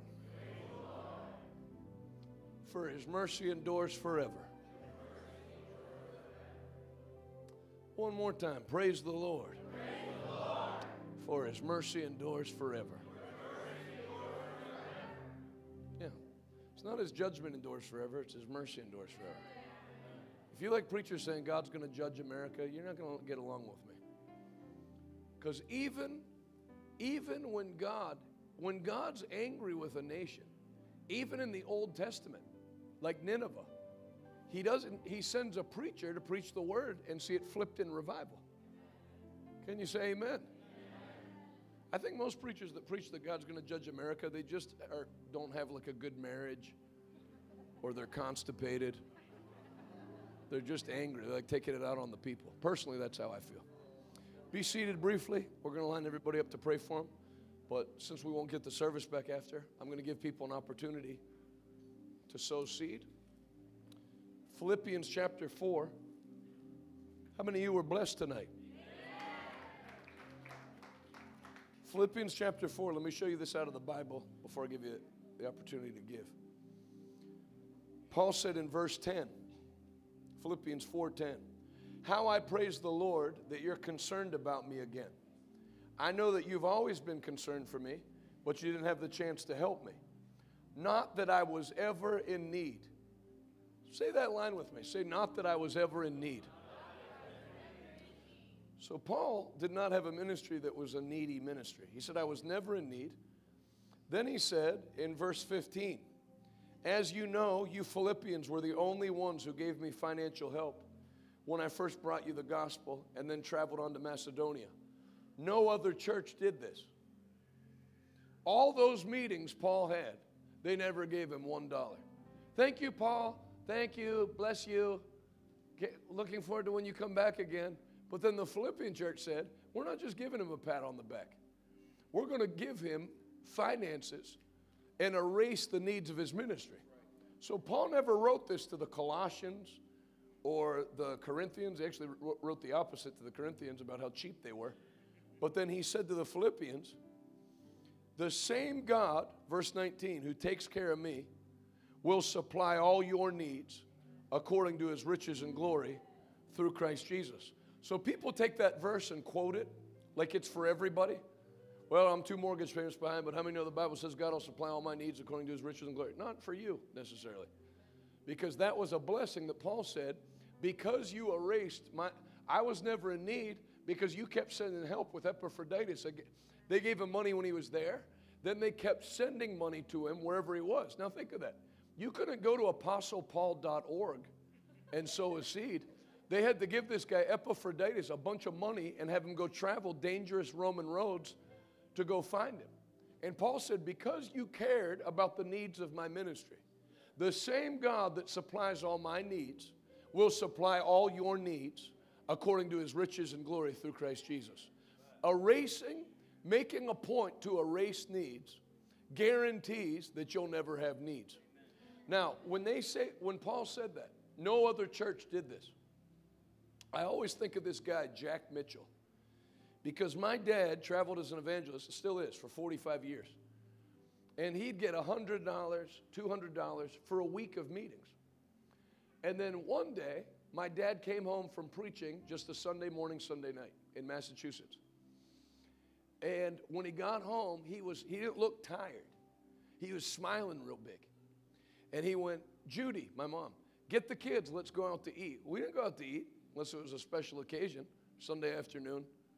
And so uh, my mom said, okay. We went to this, we didn't go to like, we went to a nice restaurant, which we didn't do.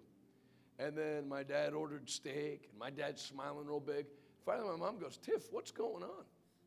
My dad, with a big smile, pulls out, I'll tell you what an impression, I was nine, I still remember it clearly. He took out $5,500 in $100 bills. This is in 1989. So that would be what? I don't know, 20, 22 grand, something like that now. He took it out and plopped it down on the table 100 at a time. And my mom went, Tiff, put that away. And he just giggled and kept doing it.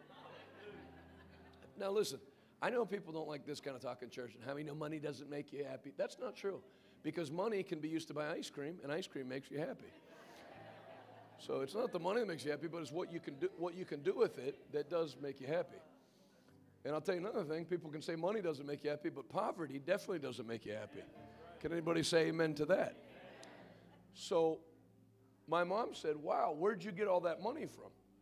My dad preached Sunday morning and Sunday night at this church in Massachusetts. And when he did, um, first the pastor took him out to eat. Did you ever see that, that dressing, Ken's Steakhouse dressing? There's an actual Ken's Steakhouse in Framingham, Massachusetts.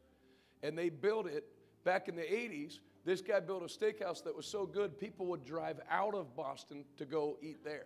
It'd be like people driving from Philadelphia to here to go, to go eat.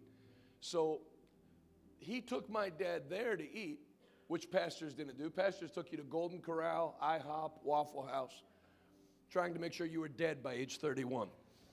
And so uh, my dad ordered chicken, you know, just to order something, you know, the church was paying for it. When, he, when my dad got done ordering, the guy said, Are you done? He said, Yeah. He said to the waiter, Cancel his order. Bring him out the 22 ounce porterhouse and bring him a lobster tail and ordered my dad like my dad was a king. My dad was a young evangelist, hardly had any money. And my, my, da- my dad was just blown away. They didn't put him up in a cheap hotel, they put him up in a nice hotel. Then he went to preach, and they had great meetings. Normally, you would get $100, $200. This guy gave my dad, I'm talking, my dad would get $200 preaching Sunday morning, Sunday night, Monday, Tuesday, Wednesday, Thursday, Friday night. $100, $200. This guy gave him $5,500 for preaching a Sunday morning, Sunday night. My dad came home, and I saw, I honestly think, not that anyone cares, we're not giving my eulogy or my biography, but I think my giving got shaped that day because I saw what that, the difference in my dad's face. Money is an encouragement. You know, I'm not bringing this up to rub his nose in it or the church's nose in it, but he was talking. When he told me that, that Pastor Joe's he, when they, he told me they were going to move into this building and was telling me, he wasn't telling me to whine. He was telling me, like, praise the Lord. We needed a new building. The Lord provided a new building and we're moving into it. And I came right out of my spirit. I said, I'm going to pay for the first month lease of your church. And then when I said that, I felt the Holy Spirit go, keep going. And I said, I'm going to pay for all the months for the first year. And I said, that, that'll give you a chance to get ahead. So I, when, when did that expire? That's February. It was right when the church started. I said, that'll give you a year to get ahead and do the other stuff. You know, he was telling me it's not just that you paid for it. See, when people do stuff like that, it's like, you know what? God is with me. You know, money, money, as much as people say money doesn't matter and stuff, it matters. Because when you leave a meeting with 40 bucks and don't have enough money to get home, you think, what did it? was I called into the ministry? Maybe everybody was right that I'm just I should go get a job and stuff. And then when somebody does something like Jack Mitchell did for my father, who Jack Mitchell's in heaven now, you feel like I can make it. You know, for all the knuckleheads God sends into your life, it only takes one Epaphroditus or one group of Philippians. Notice how Paul remembered who helped him. You never forget who went out of their way to hurt you, and you never forget who goes out of their way to help you. And so Paul said, I didn't read all of it because I've read, read, I've talked enough tonight. But Paul said, I'm not bringing this up because I want a gift from you. See, there's no saying, now, remember how you helped me? I'm not dropping a hint so you help me again. At the moment, I have more than enough. I'm saying this because I want you to know you're going to receive a well earned reward for your giving. What you make happen for others, God makes happen for you. That guy, Jack Mitchell, I never got to meet him on earth, but I, am going to go give him a hug in heaven because he, he helped my dad. And my dad, my dad, I remember that, took us out to eat and was just happy and started getting ahead, could pay off different bills. And then my dad, of course, he's doing great now, but that's what springboarded it. And so you have the opportunity in an offering. That's what I made up my mind I was going to be at nine. I'm not going to be somebody that needs a Jack Mitchell. I want to be Jack Mitchell. I want to be somebody that people go around telling people, hey, Jonathan really helped me out. In fact, just, just last week in Georgia, we went to eat at this seafood restaurant. It's called Rose Hill. It's an old seafood restaurant in Georgia. Hardly anybody's eating there under the age of 70. They have great fried seafood. And I just thought, You know, you look around, people have on Vietnam veteran hats, they're on disability from the war. I went up front and I knew three tables full of people. And so I said to the they were from the church. So I went up to the, the lady and I said, I want to pay for that table, that table, and that table. Well, when I looked, those couples were all white and everyone else in the restaurant was black. So I thought, well, I'm going to look like a giant racist. Let me pay for all the white people and the black people can fend for themselves. So I said, you know what? Everybody that's eating right now in the whole restaurant, there's only like eight more tables anyway. I said, just put them all on my bill. They said, everybody? I said, sure. Everybody that started eating, that's been eating and starts eating right now, put them all on me. Do you know how fun that was to do? I told, I told them, don't tell anybody. But just like when Jesus said, don't tell anybody who healed you, and they go tell everybody. I never got so many hugs from black people in my 43 years on this earth. One after another. Hey, I know they told me not to, tell, to tell you, but thanks for taking care of my meal. They've given me a hug. I, I, I, I felt very good. It's nice to be a blessing. And then when you're a blessing, what you make happen for others, Paul said, God will make that happen for you. So the way they taught offerings when I was growing up in church is that we should live on less so that churches can get built, missionaries can do their work. But according to the Apostle Paul, that's not possible. Because you know how you went out of your way to supply for me? Paul said, the same way God supplied for me, He's going to erase all your needs according to His riches and glory through Christ Jesus. So the offering is an opportunity to do something in a big way. I paid for, for this church's first year lease, lease payment. We were then given, right after that, 24.8 acres of land to build our church. It's worth $5 million right on the interstate. Don't pay a dime. Because what you make happen for others, God makes happen for you. And God, God, God causes it to come back pressed down, shaken together, running over. That land's worth more than the lease on this church. So if I was a normal person, I would have said, Well, I would love to help Pastor Joe, but I have a church in Texas that needs built and a church in Pittsburgh that needs built, so we need to keep it. But if you take what's yours and use it to bless others, then God takes care of the thing that you need. Amen. So, whatever the Lord would speak to you to give, but make a big move. You can't put $10 in an offering and believe for an airplane or a, a building. Give in proportion to your dreams. If you're believing for something big, put a, put a seed in the ground that'll cause it to come forth. Uh, if you'd like an offering envelope there in the back of your seat, if you don't want to give, but you want to look generous, you can just pretend like play with it and write a fake thing. Revivaltoday.com, and you click give now. So you notice taking the offering, I just want to tell you there's a reward coming. You don't have to talk people in central Pennsylvania into giving. People in central Pennsylvania are very giving people. But I want you to know there's a reward so you can have your faith out for it. Amen? So envelopes there in your seat. Revivaltoday.com. Click give now. If you're watching online, revivaltoday.com, give now, Cash App, dollar sign RT Give. If you want to mail a check, watching online, Revival Today, P.O. Box 7, Prosperity, Pennsylvania, 15329. I'll give you a minute to do that.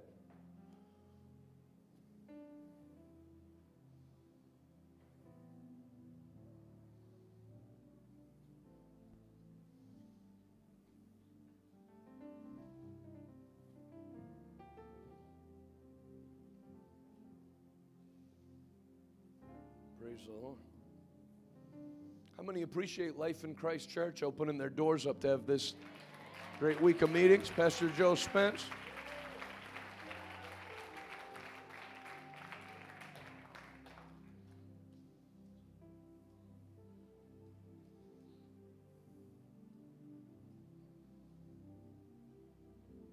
Tomorrow, I'm going to do something I've never done before. There's a guy that gave me a Falcon 50 jet to use. And um, it's over it's over at the uh, where's that airport? Lidditz. One time I called it Lititz, and I got corrected by the church t- crowd very quickly. Lidditz! Lidditz! I thought it was a French word.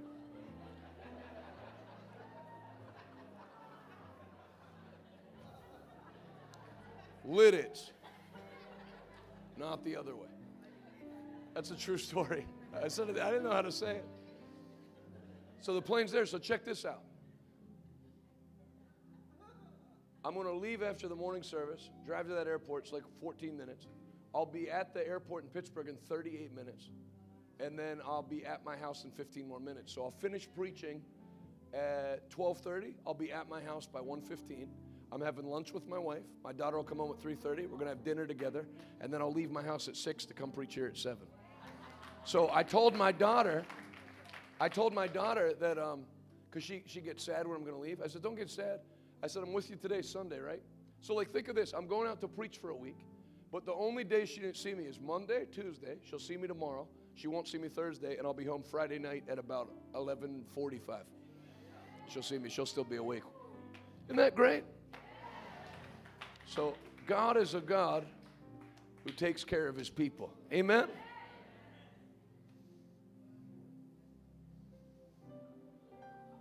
Somebody wrote on Instagram, God, God, uh, pre- preachers, I don't think preachers should live an opulent lifestyle. I wrote back, if you think I care more about how you think I should live than spending the afternoon with my wife and daughter, you're smoking Hunter Biden's crack pipe. Amen. I'm not letting other people uh, keep me where they think I should be. I'm going to enjoy the blessing of God. Amen. Praise God.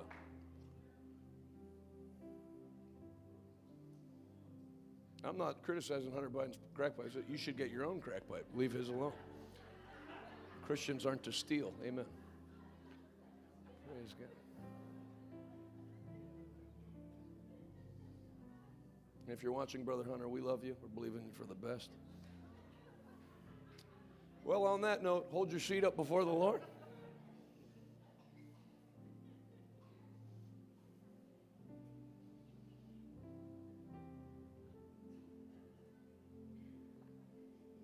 If you're watching at home, same thing. Father, thank you for a hundredfold return on every seed that's sown tonight.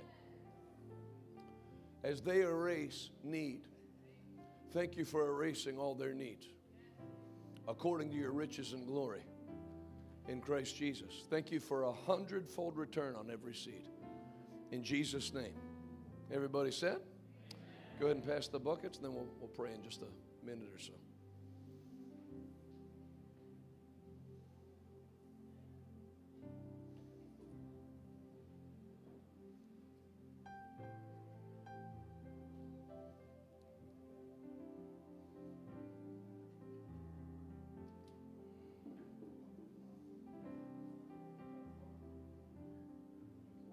I heard someone fumbled the bucket.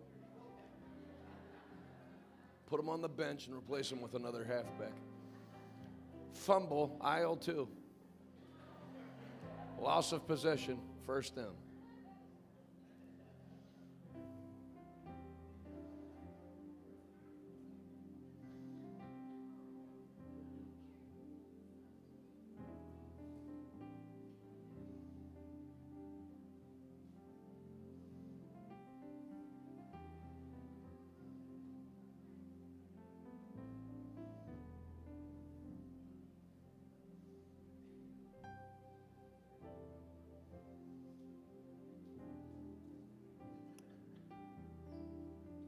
This has been a great week of meetings. I'm excited for the back half of the week. It's going to be awesome.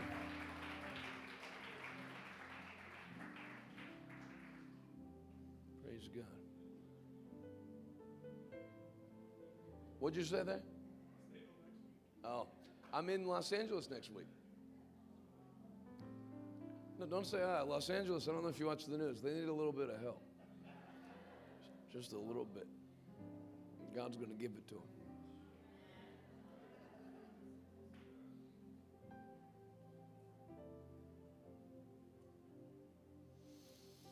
Well, we've been praying for people outside because, A, the weather's nice. We couldn't have done this last week.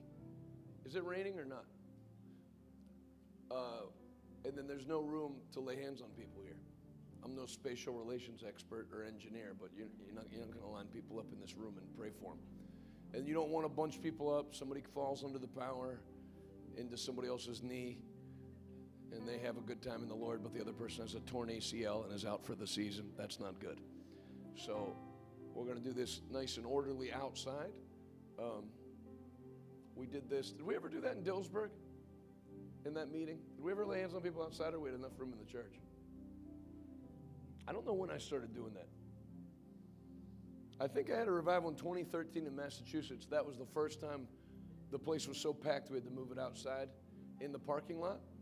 And I remember there's a lady, she's still alive, her name's Yaya. She's 99 years, or I call her, she's a Greek grandma, Yaya. She's 99, Greek Orthodox, had never been to church before. And she goes outside, right? And we're laying hands. And I was super gentle laying hands on her because she was like tiny and, you know, a senior and new to church. So, in Jesus' name. And then kept going.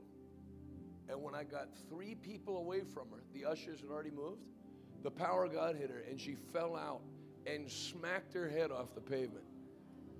And I mean, I just thought, like, well, that's the end of old John. Because they told you at Bible school to be careful doing that. You're gonna you're gonna embarrass all of us. You're gonna go to jail. Uh, that, that definitely killed her. So I just, I'm serious. I mean, fell no catcher, straight back, and you heard her head hit the pavement. So that's not good when you're 30, let alone when you're 88. So I kept going. Finished praying for everybody. And then I went back in in the church and I went to get my Bible and I just sat down for a little bit and I'm not joking around. I just came to grips with the fact that like I'm going to go to jail or get sued or whatever. And then she comes walking in. So I worked up enough guts to go over to her and I said, Hey. I said, uh, I saw you fall out there. How are you feeling? She went, Feeling? I feel better now than I did before I fell. And I said, Praise the Lord. Live to fight another day.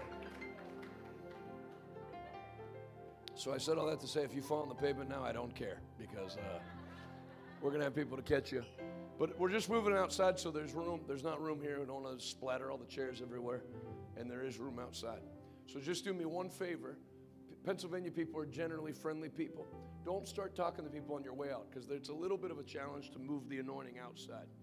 But if, if you'll not start slapping everybody on the back and, and talking and just stay shut in with the Lord on your way out there and uh, stand shoulder to shoulder, then after that you can talk all you want. And um, but I want you to get ready to receive. We told you tonight's a night of impartation. One of the means of impartation is the laying on of hands. Timothy, stir up the gift that came on the inside of you when I laid my hands on you. For God has not given you a spirit of fear and timidity, but of love, power, and sound mind. Stir up the gift that came on the inside of you when I laid my hands on you. So I'm going to impart the good things God's put into me into you by the laying on of hands, and you'll just feel a different grace working that, that's from the Word of God. Amen? So I'm going to have everybody stand to their feet. I'm going to have Pastor Joe give you some instruction. I'll see you tomorrow at 10 in the morning, and I'll see you in a few seconds outside. All right, so we have two doors. This door right here, and there's another door in the lobby out there on the right side. So if half of you can go out that door, the other half out